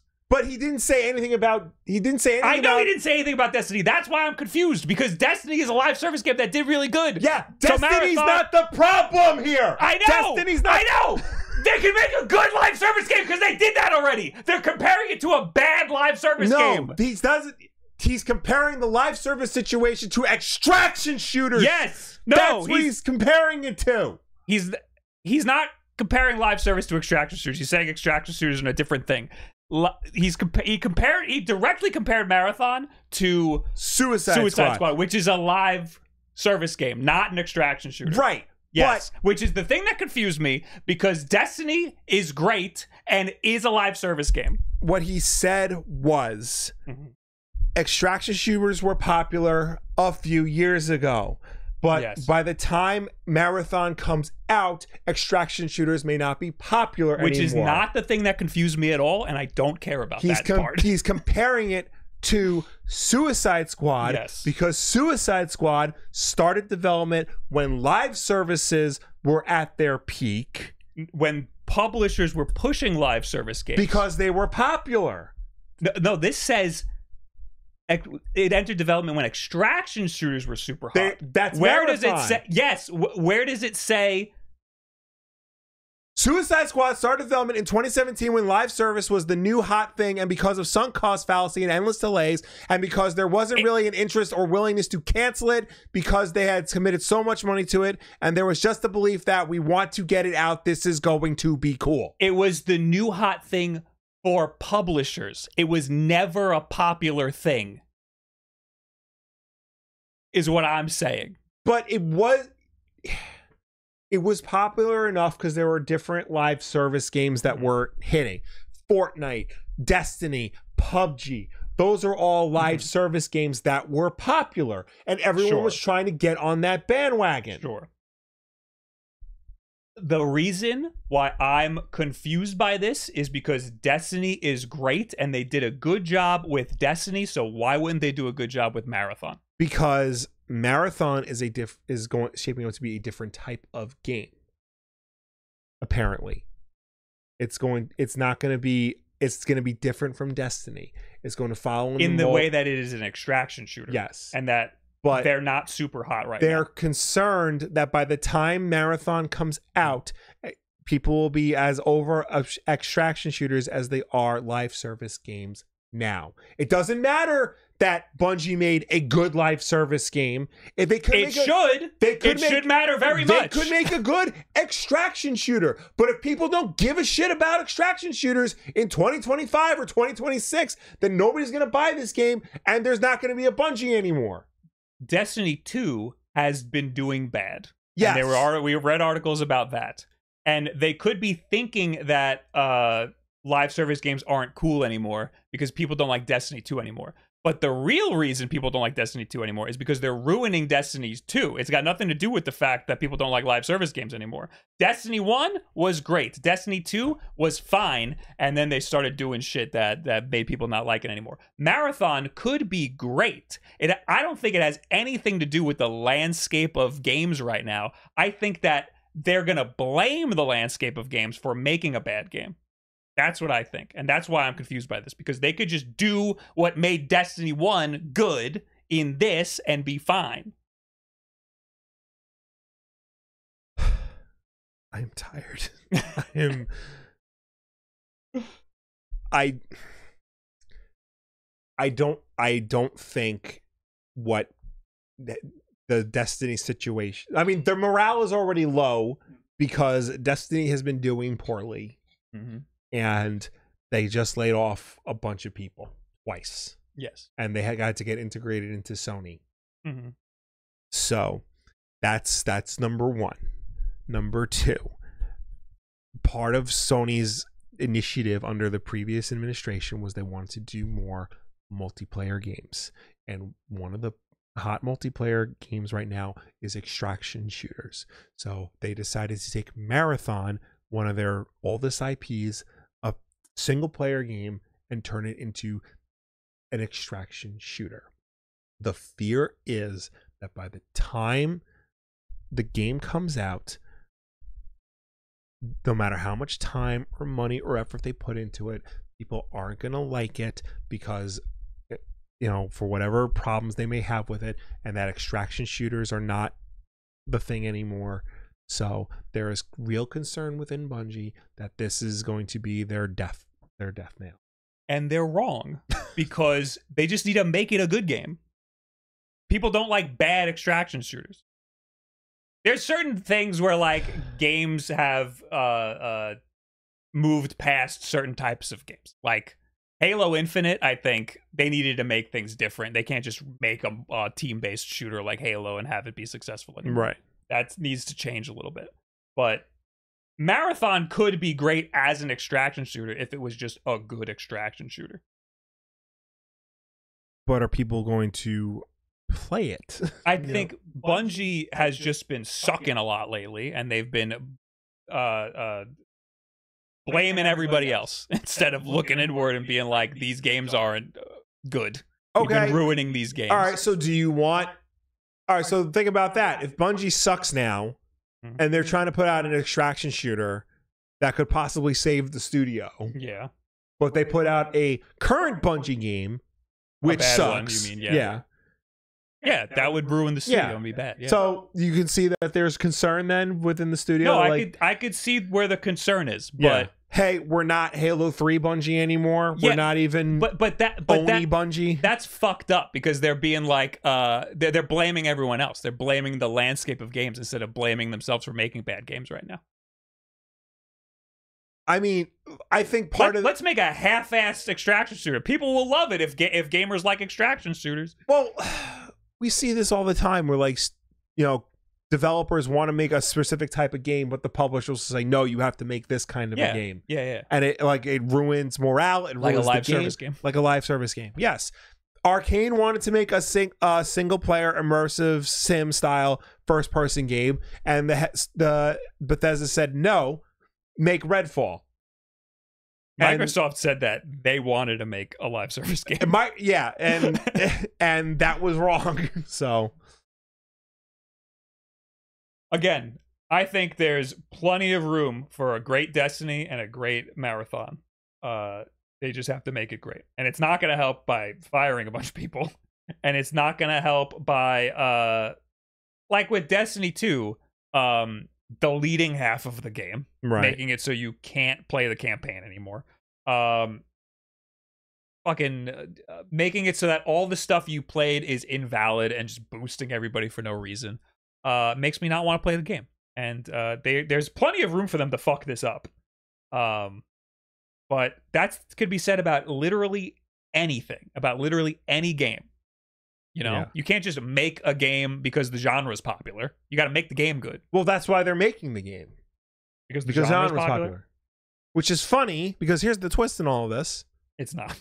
I still don't know what an extraction shooter is, and I can't name you a single extraction shooter. Uh, I do. Would you like me to explain it? Please. so you uh you enter a, a sort of survival like world, like a hub world, like like a I don't want to say open, but you know like a battle. Think battle royale. Okay. Um, and you get weapons and and items and stuff in this little world. okay. Uh, and if you survive, you get to leave with the weapons and items. okay. You extract with the weapons and items. So the more you play it, the more stuff you get. It's like a looter shooter, but uh, player versus player. Okay. Yeah. So the division, Escape from Tarkov, games like that. That does not sound fun. It can be fun. Uh, that also sounds like it could be extremely bad. It- that it- sounds like it could be very easy to mess up. And that sounds like something where Bungie could very easily it all it takes is one thing where like, oh, you leave with your gear, but like the gear you get is blue instead of red. And that could Well- that could screw everything up for everybody. well. Destiny is one of the best looter shooters. So just use all of the knowledge you've made to you've accumulated to make one of the best looter shooters and just make it player versus I player. also don't leave with the like looter shooters. I think I looter know, shooters are don't like looter actually shooters. genuinely suck. I See, do not I like do them. though. I I, think like I the, the the grind to like you know go out there kill people and or like go hunting for all this like useless crap that is not But then you get a useful one, and then it's cool. the useful you one the that is not of a sudden. significantly better or worse than your current gear. Like it's all this like It's a lot of junk. You, it's, you have it's to go. constant hunting through junk and junk and junk, all for what? The for possibility a really cool the possibility thing that you, get. may someday get a really cool gold plated bidet or whatever. Uh, yes, I was I was on the hunt for the Hawk Moon all Destiny Year One. I was I was fucking playing all these missions over and over again, trying to get a Hawk Moon, and I never got it until they just let everybody have it after a year. That, That was like the big deal, and it was so exciting. That sounds so ridiculous. in Borderlands One, I early on in the game, I got a shotgun that shot six shots at once, and it shot rockets that were incendiary. So I used to just run around, spin in a circle, shoot once, and it would shoot six rockets in a circle, and everything would light on fire. And I used that gun for the whole rest of Borderlands. That was cool that I got that thing. in Borderlands 2, I got two guns that had the exact same skin texture, the exact same look. They were the same exact gun. The only difference was one of them had acid rounds and the other one didn't. But they were the same fucking gun and they didn't the like the acid rounds didn't do that much more damage than the regular ass ammunition. You got a common gun. What's the point of like ha- the, the whole game touts is like, oh, we got like 10 billion guns in the game, but you know what, Will Wulff? We're gonna give you two of the exact same fucking guns. I I am glad that movie did poorly. I am glad that movie uh, it got a zero percent on Rotten Tomatoes because maybe it's finally showing people that no, it's not funny. The story is not good. You know, the the gameplay was the only thing that was keeping you interested, and that's not even that good. I like I like the gameplay in the first. Second one, I kind of got bored pretty. Quick. Let's talk about it right now. Borderlands movie is bombing because it sucks. Will was right. Borderlands movie premiered as one of the worst reviewed major movies of the year, settling at a 9% on Rotten Tomatoes. Oh, good for them. But now the full box office results uh, from its opening weekend are in, and it may also uh, produce one of the largest box office losses of the year compared to its reported budget. The Forbes really likes ads. the Borderlands movie is said to have made $8.6 million domestically, arriving in fourth place at the US box office. That total expanded to 9.3 million globally, adding just $722,000 in regions where it opened. This is on the back of a budget reported to be between 115 and 145 million dollars between production and marketing. If you've seen it, it's not a cheap film given all the VFX required to bring the explosive game series to life. The studio reported that 60% of its production costs were covered by international ticket pre-sales, but it's unclear how this is supposed to fit into these totals as no additional information past these current numbers has appeared. That total would be around 60 to 70 million if those pre-sales are indeed added at some point here, but still short of its overall budget.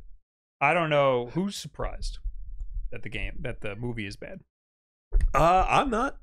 Uh, I'm I'm surprised it's this bad. Like apparently this is like worse than Madame Web bad. here is a tweet from our friend Scootish, uh, and it. I want to note that he's buying tickets for a 10:30 showing at 10:12, and there is one seat taken. he should have sat right next to that. dude. Oh, he did. nice. that is crazy. That's That it. is- I've never heard of a movie flopping that hard. This is a hard flop. This is a hard flop. Yeah. Like this is a good old fashioned like nobody wants to see this flop. So And uh I hope they learn the right lesson from something like that. well, I mean, like I you can see the thinking, like because video games are like the new hot property right now. Last Last of Us, Fallout, Mario, Sonic the Hedgehog, you know, and like you know, Borderlands is for some reason popular with you fucking kids. Um, but I guess people can smell a turn a mile away, which is good. It means cinema's not dead. But I will say this: Mhm. nine percent on Rotten Tomatoes kind of makes me want to see this movie even more. That is extremely Wait, is that 9%? Out of a hundred Well, is audience or or critics? critics, That is crazy. yeah. That's like- insane. How bad is this movie? How bad is this movie? I heard some people on TikTok like talk about it, and it it seems just completely irredeemable Yeah. So I have to see this. when it I comes to have to- Netflix or yeah. something. I'm not going to a theater. no, to absolutely not. unless you want to be alone in a theater. Yeah.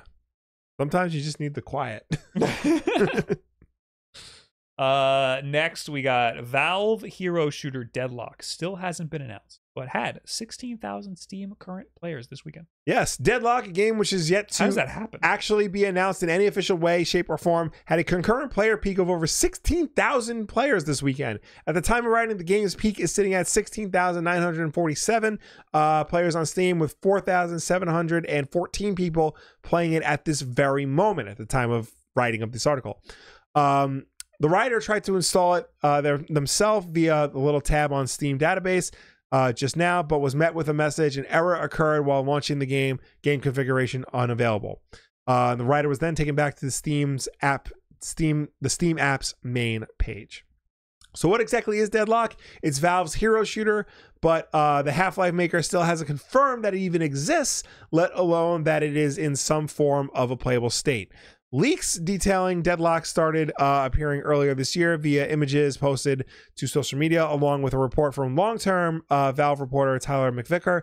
This report claimed that Deadlock was an Overwatch style third person hero shooter uh, with closed testing make, uh, taking place. McVicker described the project as having MOBA and tower defense inspired elements. It's like Valorant, Overwatch, Dota 2, and Team Fortress 2 having a baby, uh, the reporter said in May. It's, this is crazy. 16,000 people is a lot. Yeah. All at once, right? Yeah. Concurrent players. It's so that's a lot to have no footage. Yeah. There's leaked footage from a while ago Yeah. that I've seen. Uh, also, I haven't heard about this at all. Like, I knew the game was leaked, Mm-hmm. but people are playing it. I gotta. I want to play this game. Yeah. I want to see this game. Uh, I I know I'm trying to find it somewhere. I didn't put in the keep. Um, The Verge played Deadlock. The people in the chat are saying that there's been controversy with The Verge. I just pulled it up. Uh, uh, we played Valve's secret new shooter Deadlock. It's like Overwatch, Dota 2, and Team Fortress 2 all baked into a pie. Oh, that sounds. That looks bad. What is that? looks bad. It's been nearly five years since Valve announced a truly new game and counting. Valve has still not announced Deadlock, its new hero shooter that takes cues from Overwatch 2, Dota, blah, blah, blah, blah. 20,000 people from trying to play the game, including me, a writer says. Yeah. I am not under NDA. I have signed no contracts and made no verbal agreements. I haven't even clicked through a EULA. Early development build. Deadlock is still early in development. With a lot of temporary art and experimental gameplay, do not share anything about the game with anyone. Okay, well, it sounds like he broke that. is that the controversy that he's just talking about it? Because that's stupid. That's a dumb controversy. Yeah, I think. I think yeah, the controversy because he didn't sign a contract. Like, there's nothing written like in anywhere that said he couldn't talk about it. He just agreed to the. oh, He didn't even agree to the EULA. He's saying. Oh, he just he just he didn't check the box. He just Yeah. continued. Uh, this Forbes article says The Verge under fire about for publishing info about Deadlock, Valve's secret shooter. I do not care. I don't. I I will not think of The Verge any differently from this point forward. Yeah. No. EULAs don't mean anything. Ignore them completely. Mhm. People are there's twenty thousand people playing the game. People are gonna tweet about it. yeah. if you're gonna have a beta that's that open, people are gonna talk about it, and I think they should talk about it. Uh. Oh, Ma- another- making players sign a gag order is the fucked up part. Yeah. is what I think. Uh, there's an update. Turns out Valve was not fine with me trying to play Deadlock with friends. I've been banned from matchmaking. Oh well, feel free to uh, make fun of me in the comments. Now I'm not too upset about that either because I mean they're allowed to do whatever they want. Mm-hmm. It is weird though that Valve has this like secret game that like we all know about, but only some people are allowed. It's to very play it. bizarre. Yeah, Fucking uh, when Nintendo did the uh, Nintendo Switch Sports, Yeah. uh, they said you cannot show any of this footage for for the for the beta test that they were doing. Yeah. I streamed the whole thing. Fuck them. What are they gonna do? You know. Well, it was like when uh, Suicide Squad was coming out. They did like a, a closed beta or whatever, and they said, "Don't talk about it, don't uh, stream it, don't do nothing." And then when all the bad previews started coming out, they're like, "Okay, we changed our mind. You got to talk about our game." Yeah, you. It's it's ridiculous to expect you to put something out into the public and expect them not to talk about it. It- I understand doing a closed thing with NDAs and stuff. Yeah, but you're going to release it to more than a couple hundred people there's going to be some conversations happening I mean, the games industry though has like this weird thing about secrecy. Like they are honestly sometimes too secret about like the things that we're like. We know you're working on a game. Yeah. You know, things are gonna get out. You know, obviously some there are some things you don't want to get out, like uh spo- like story spoilers and maybe like certain gameplay mechanics and stuff. But like when the Insomniac stuff leaked and we saw the like the pre-alpha Wolverine footage, like the a normal person will just look at it and go, "Oh, they're working on a Wolverine game. Okay, fine." You'll get the one asshole is like, "Pfft, "What is this game? It's not even. Yeah. It looks terrible. Like this is not finished, dumbass." yeah uh, i think there's a reason why they do like media previews sometimes because i think uh, the media should have credentials to be able to distill information differently like Yeah. oh this is a preview i understand why certain things are the way that they are um, and the public might have issues with m- more broader stuff Mhm. um i take issue with certain uh like review embargoes and like there's all these rules that these companies uh put on on people to Yeah. to get them to talk about their stuff the way that they want them to talk about it and i think that that's fucked up and i don't like it for the most part i Yeah. i abide by a lot of them like if a company gives me a product and they say don't talk about it until x date i'm not happy about it but i'll abide by it because i want to keep getting products from them right. uh, but there's a lot of there's been a lot of weird ones that I've seen, like uh, the Asus ROG Ally embargo was really bizarre. Yeah. Uh, there was a preview version that had its own embargo. Then there was the main retail unit that had its own embargo, and all of the embargo it had two different embargoes. Didn't say which one was what. And uh, Linus Tech Tips and Dave 2D got different embargoes. They were Yeah. allowed to talk about it beforehand. Why? Just so that they they would They probably would they not talk about it otherwise? They probably have like super special relationships with those two specifically. Th- and I don't think they were nice up to them about it. Like I don't think they were they liked it. Like in their in their reviews. They weren't overly glowing, but they, Yeah. you know, I think they still gave them good reviews. It seems like they were they, those people were like, we will not talk about it unless we get to talk about it early. Yeah. Because why else would they give them special treatment?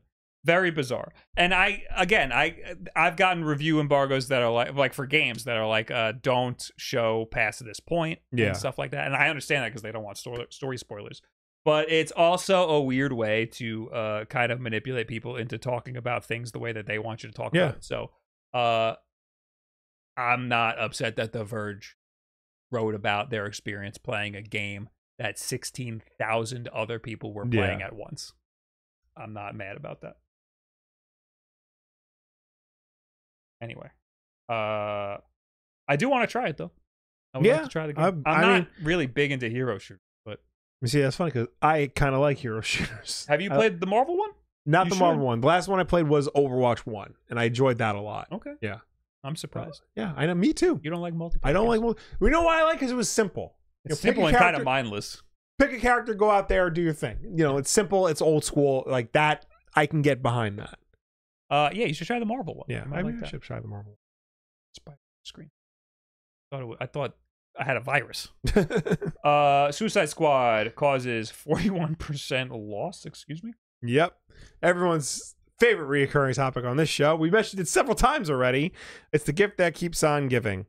The failure of uh of Suicide Squad.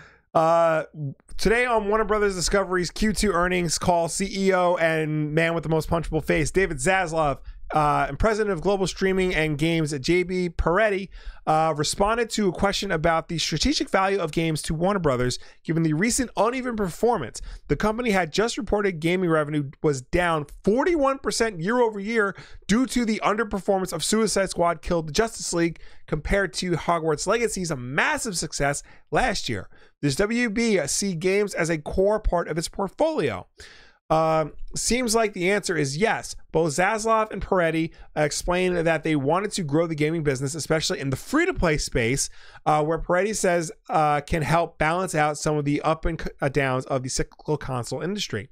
It's part of why WB acquired Player First Games, the developers of MultiVersus, earlier this year. Zaslav followed up by noting that not only did WB want to keep leveraging its 11 studios, but that there's also a lot of interest in among others in coming to take advantage of some of that IP for gaming, um, which they're looking at.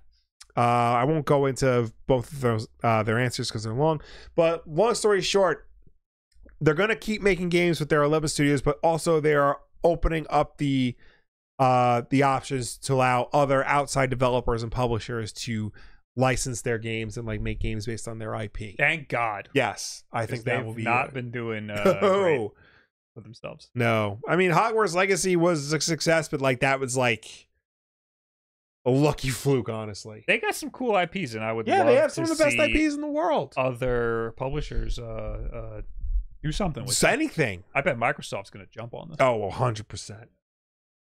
They're going to be like, well, Sony's got Marvel games. We're going to have DC games because nothing ever goes wrong when DC tries to catch up to Marvel. Hey, that actually would make a lot of sense. Yeah. They might try to do something after uh, Indiana Jones. Yeah. They might try to purchase some weird IP from Warner Brothers. Yeah. Uh, hey, that's not a bad lesson to learn from the failure of Suicide Squad. Yeah. That uh, we can't do this, and other people would be better at it. Um, is that it? Was that all the news? Uh, yeah, that's it. Tweet of the week! Tweet of the week! Tweet of the week! This is from uh Sinara Archaeology Department. Does Willem Dafoe play Final Fantasy?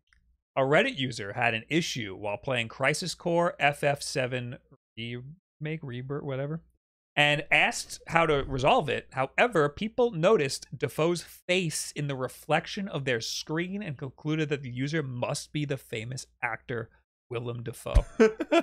and you can barely see it, but right there, yeah. it looks like Willem Dafoe is taking the picture of his Steam Deck. He's got a little cute little uh Yeah. chicken little thumbstick. Uh that would be a great story That would be awesome. if Willem Dafoe not only was a Final Fantasy fan, but played it on a Steam Deck. Yeah. Unfortunately, people have pointed out it's probably just Willem Dafoe on the guy's t-shirt. Mm. And I don't know what t-shirt or what pose Yeah, like. I don't like where would you get a Willem Dafoe t-shirt? Uh, well, I just Google image search Willem Dafoe T-shirt, and there's plenty. Okay. I want to see if there was like, oh, wait, is it literally this shirt? Did we just find the shirt? Oh, don't tell me. No, I don't Uh. know. No, I don't think so. I was trying to find the exact pose on a shirt. Yeah. Maybe we could find it, but uh, I mean, I like to imagine that he's a big Steam Deck fan, yeah. and also has a Reddit account. Yes. Both. Uh, all right, now we'll talk to you guys real quick. Yes. Let's start off with people who have comments on last week's Wulff Den podcast over on the YouTube channel, youtube.com slash Wulff Den podcast. I uh downloaded the Ubisoft launcher because I want to download um Outlaws? no, but yes. um uh Prince of Persia. Okay. When I go like this, it's scrolling. Hmm. That sucks. Oh, I think I, I added gyro so that the right stick. Yeah, yeah, right stick. Okay. Uh, all right. Uh, oh, we got notifications. Uh, Rock and Val, thanks for the gifted sub to Starity. Original Spiff, thanks for the 27 months. I'm coming in late, but did the lads cover Valve supporting the ally in the future? No. Uh that is a like late breaking thing. I just found it. Okay. Um, so what Valve said was, uh, it'll support the ROG Ally with its Steam Deck operating system once Valve is happy with it. Oh, that means never. That means they're never gonna. Add, the, the quote is adding support for extra. Uh, oh no, sorry. Uh, Valve's latest Steam OS notes said that it had support for extra ROG Ally keys. Oh, Um, the note about the ROG Ally keys is related to third-party device support for Steam OS. The team is continuing to work on adding support for additional handhelds on Steam OS. That doesn't mean that Asus will officially bless Valve's installer or sell and the Ally with Steam OS, of course. Uh, and it's not like Valve is suggesting it'll offer Steam OS for rival handhelds anytime soon either. Valve is making steady progress, um, but it uh, isn't ready to run out of the box yet. So I mean, again, Bazzite runs great. and yeah, it's like, you know, an op- like it, it's it's an initiative that people just made, and it it must have Yeah. been. I mean, I don't want to say it was easy, but it must have been relatively simple for them to get running on the uh, RG Ally. So I'd imagine Yeah. it'd be pretty easy for Valve to do it if they wanted to. Well, I mean, like the whole point of the Steam machines, like many years ago, was that like you can just upload the operating system to any like Windows device, turn it into a Steam machine, and go from there. I imagine like they want to do a similar thing with Steam Deck and like other portable gaming systems. Yeah, and they've expressed interest in doing that, and they haven't done really anything Mhm. to support to, to back that up. Uh, in fact, their wording is very bizarre. Yeah. uh, they, they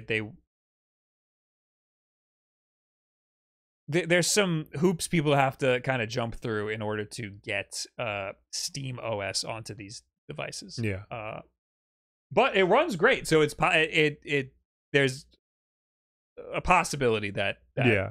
it could be relatively easy for Valve to do. But uh, I don't trust Valve to ship things. Like they they never ship things. They Yeah. never, they never.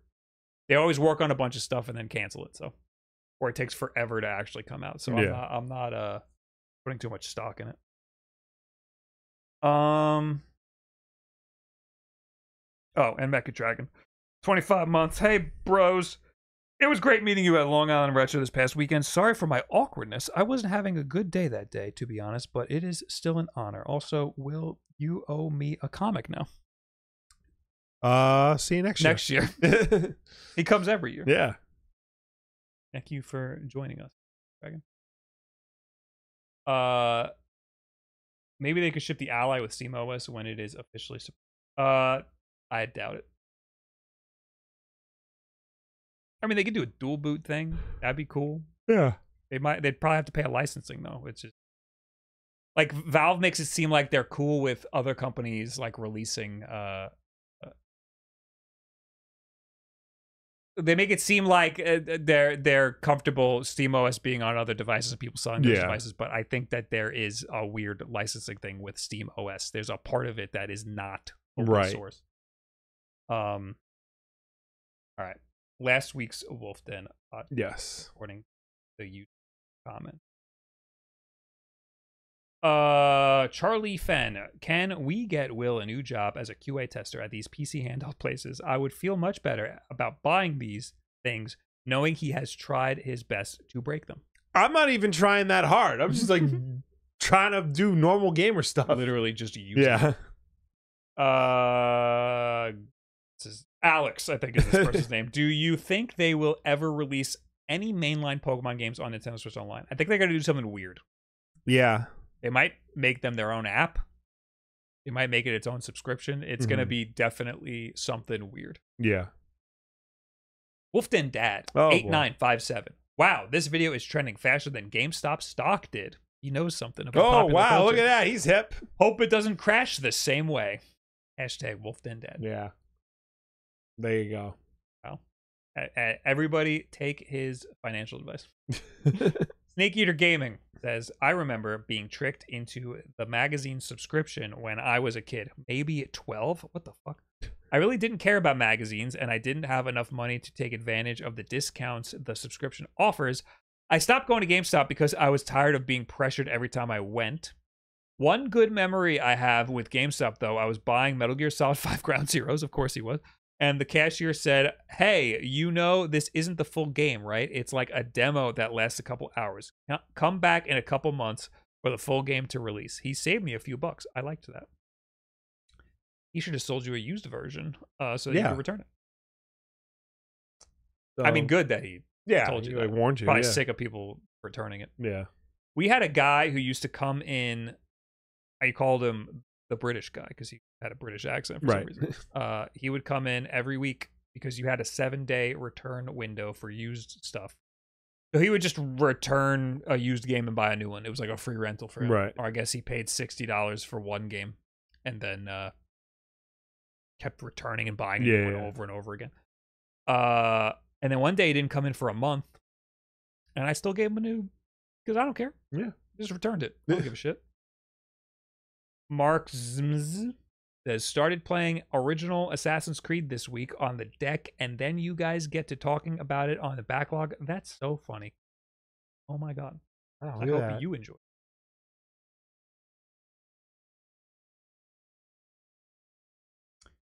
Anyway, All right. I wouldn't trust rando devices pre-installed with Steam with my Steam credential. Yeah, I agree. Uh, what was it? The Aya Neo was like launching with a weird uh, version of Steam, and that uh is a little weird. Yeah, I think that's why. I think that's the part of the Steam OS that is uh not open is the Steam client, which I think is the part where you put all your credentials. Oh, uh, five dollars over on YouTube. Uh, yeah, I missed. Amazing Gonzo with the five Australian dollars, I think. Oh, crikey. Unrelated, you got you see the guy who kept saying this reminds me of the time my dad dot dot dot. Uh, that would be Anthony Mealy or something.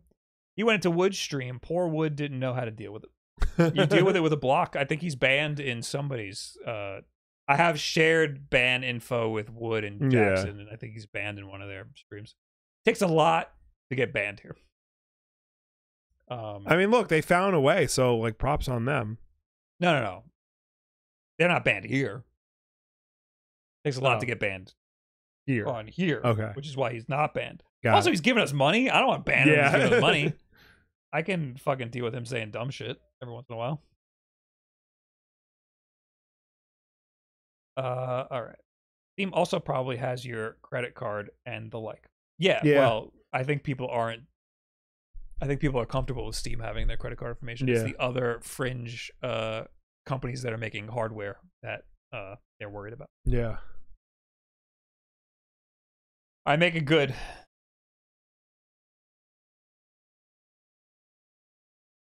Everyone's all quiet over here. Problem is, I was reading the chat already. I think.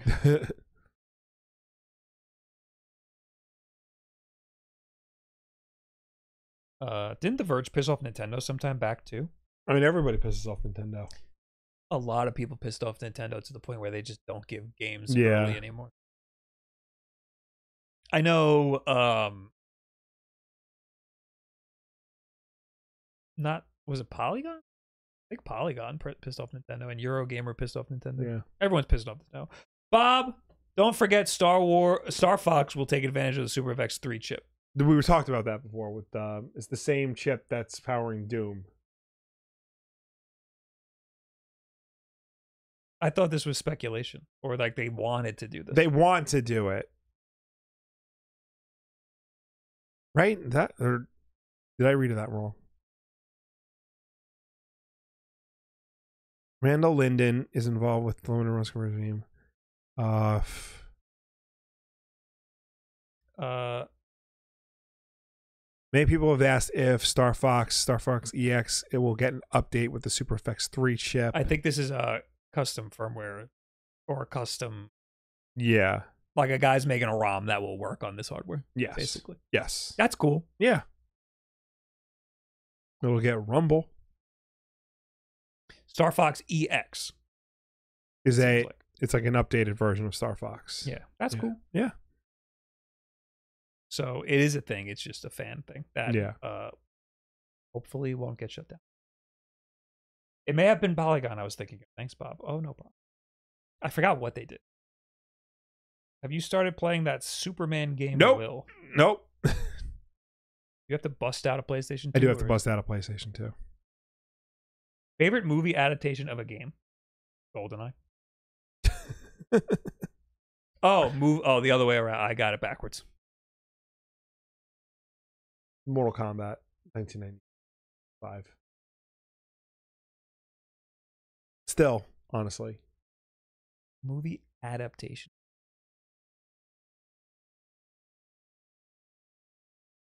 I don't know. it's hard because like they're they're not good. Yeah, the, I mean, I like you, like. you get ones that are like close. You get ones that are like kind of okay. Like you know, Tomb Raider was kind of okay. Um, Mario, Super Mario Bros was kind of okay. I kind of liked Sonic. Sonic was kind of we okay, we we watched it and I was like, that was all right, Yeah, but I think they did a pretty decent job, yeah. and I want to. I don't know any other ones that I. That The only I- one, like honestly, the only one I would say is like good is the original Mortal Kombat one. Okay. But like other than that, I can't really think of anything that I would say like is like genuinely good. Um. Honestly, I would say the way like Fallout and Last of Last of Us are going, like TV might be the way to go. you know? Yeah.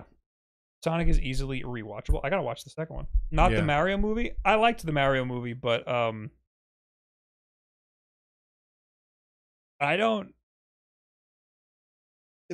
I felt differently about the Mario movie. Like it was a good movie, but like uh, uh I I don't think I enjoyed myself as much as I did with the Sonic movie. Yeah. I was more interested in what was going to happen in the Sonic movie. Well, because I think the Mario movie, like, it- That's for kids. it's, It's for kids. Oh, for I mean, the Sonic movie was also for kids. Like the Mario movie, I think tried, to, you know, it tried to be the game without the gameplay element. Like, I would much like with the Sonic movie, there was other things happening. They added a whole like they added extra like plots and like characters and stuff to try Yeah. and like expand the story to like make it for a movie. Whereas the Mario movie was literally just the cutscenes from the game. Yeah, I felt more uh targeted towards with the Sonic movie. Yeah. I felt I didn't feel like I know it's for kids, but I didn't feel like it was explicitly for kids. With the Mario movie, I was like, "Oh, this is not for me." Yeah. And it's like the bad kind of for kids where it's like they think kids are dumb and they're like try to pander to like Hmm. the lowest common denominator. Jim Slatter Snup Slatter Sup says Detective Pikachu was kind of dope. I forgot Oh about yeah, Detective that was good. That movie was great. That was good. That was a good movie. yeah. I think I want to change That's my answer. that's two. That's Mortal Kombat and Detective Pikachu. Two opposite ends of the spectrum. Uh, Bob Will, would you prefer media to actually play the game or not? What are you talking about? I heard they're not letting the Yakuza staff play the game. So this is a thing like Huh? I guess there's a Yakuza TV show on Amazon now, like a dragon. Oh, I understand. Yeah, and they're not letting people play the game. Um, apparently now that's the thing in Marvel. Kevin Feige is telling like the writers of like the movies and TV shows, you don't have to read the comics. I don't know how I feel about it. Here's here's my take on it. I don't think you have to be a fan of something in order to make an adaptation of it. Tim Burton didn't read comic books growing up.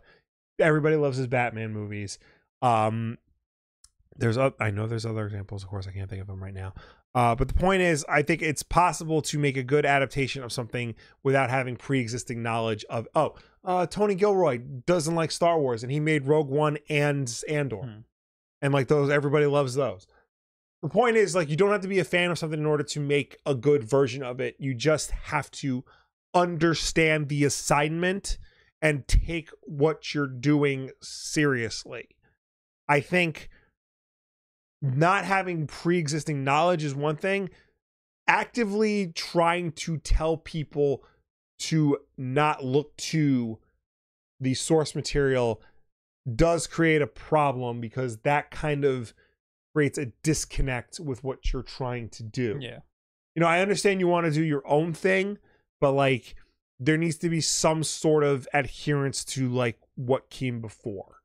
I think it depends. Um, I think that the person create the, the person who's headlining the thing, who's making the, the, Yeah. the director or writer or whatever, uh, should have a baseline knowledge of what's going Right. on. Um, I think that if they then want to do something different with certain characters, those people who are playing those characters don't have to research it. Right. If if they're it's intended to do something different, then they want to do something different. Well, I know for uh, Fallout, um, the creators have played Fallout. Like Yeah. they played the game, but they told the actors they didn't have to Mm. because they were going to tell a different story. That's totally Yeah. reasonable. I think that's totally reasonable. Yeah. Uh, in the case of Borderlands, I heard that uh, there is nothing about guns at all.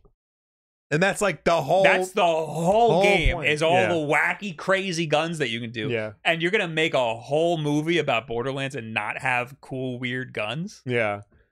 Apparently, Craig Mazin, who is the showrunner for The Last of Us, was the screenwriter for the Borderlands movie.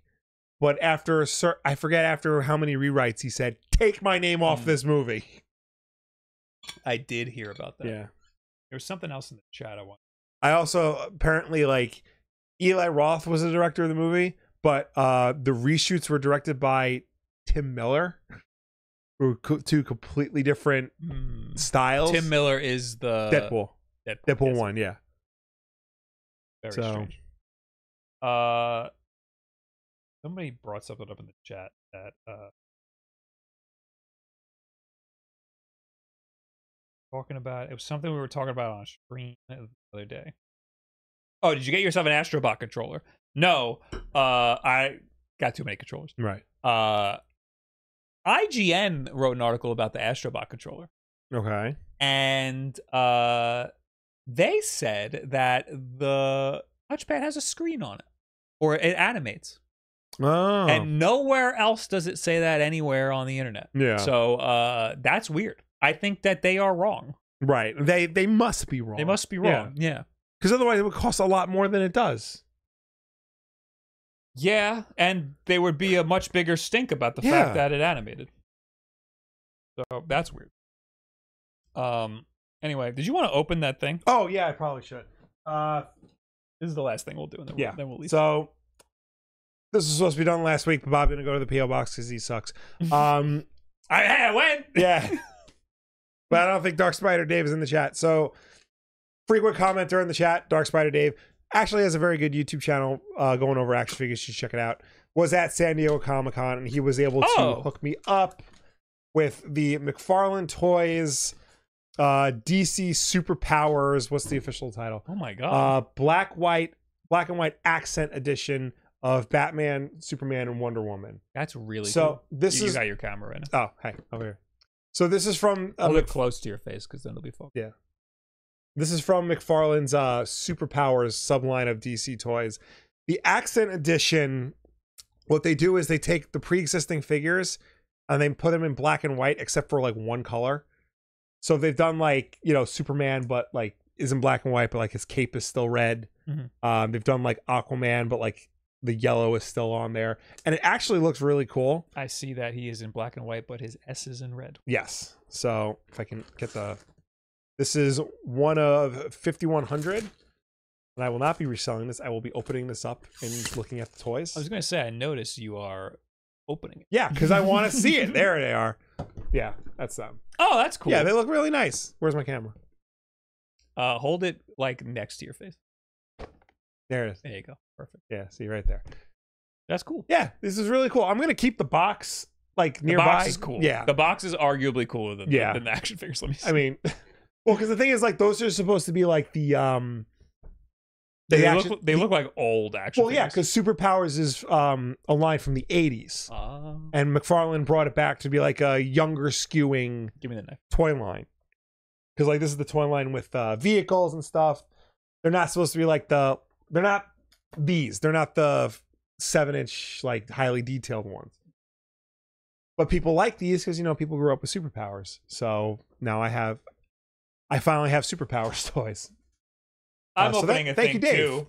uh, what Uh, are you opening? This is the 8BitDo uh, retro mechanical number pad. ooh that we got a while ago and I never opened it uh, because I already have a number pad and I wasn't going to use this. Uh, the number pad that I used to switch scenes Mhm. just decided it didn't want to work anymore. so uh, after this stream's over, I'm going to try to set this up.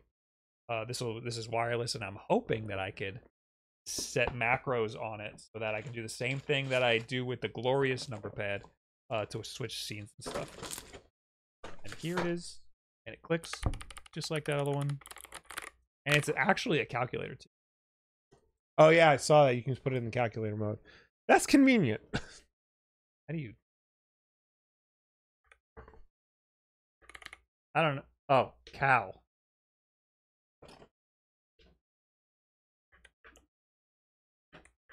I also saw. Three plus three is six. Oh, that's good to know. I also saw 8BitDo is um they they're having new colorways for the uh the Pro 2 controllers. It's like it's like a neon green and the same blue that that Xbox controller just came out in. Really? Yeah. Oh. Oh, like the jungle green. Like yeah. There was an SNES, not an SNES. There was a, s- an, a Nintendo 64 at Long Island Retro Gaming Expo in like one of those neon colors, HDMI modded. Guess how much you wanted for it? Wait, wait. What was HDMI monitor? One of those like neon colored uh, N64s. Oh, yeah, they're expensive. How much do you think? HDMI modded, Yeah. four hundred dollars. More than four hundred dollars? Five hundred dollars? Six hundred dollars? Seven hundred dollars? Seven hundred dollars for uh I think it was the neon blue HDMI modded N64. So it's a little hard to do the HDMI It's, mod. yeah.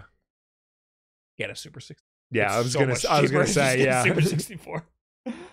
uh, they have uh purple of of of the 8BitDo also. Here's, Yes. here's blue and green. I just think it's hysterical oh, because we have the green. The green. Uh, Do we have- Well, Oh, yeah, we have did. This one in green. that's like a different one. Yeah. I also think that's a, like a darker green. The one they showed off is like a brighter green. This look. Is this not the same?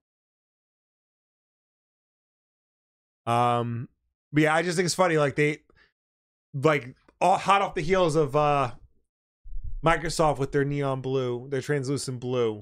8BitDo's like, yeah, we can do that. Yeah, we got. We literally got. Yeah. So that's fun. Translucent colors are back, baby. All right, we're done. Thanks for hanging out, everybody. Thank you for tuning in. Thank you for watching. Thank you for chatting with us. As always, the Wulff Den Podcast is every Tuesday night at 8 p.m. Eastern, right here on twitch.tv slash wulffden and youtube.com slash wulffden podcast. If you can't make the show for any reason at all, we always put it up as an archive version over on youtube.com slash wulffden podcast. So you can go and check us out over there on demand whenever you want. If you prefer to listen to us rather than watch us, you can do that as well because we're also an audio podcast on any and every podcast service, be it Apple Podcasts, Spotify, YouTube Podcasts, Audible.com. But no matter where you get the show from, folks, please be sure to subscribe, rate, and review us because that helps with placement on all those respective platforms. I'll be live Thursday. I don't know what I'm gonna do. Uh, I uh might not have a video this week. I don't know.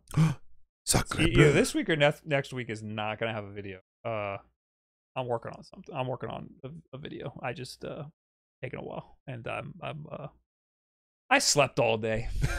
I picked up our parents from the airport. I came home, ate something, and then just fell asleep on the couch for like two hours. Sounds, sounds nice. It's really hard, really Yeah. hard life of, of a YouTuber. Uh, go say hello to Jess. Uh, she is streaming Mario and Luigi. Uh, I'll see you Thursday. Goodbye, everybody. Bye.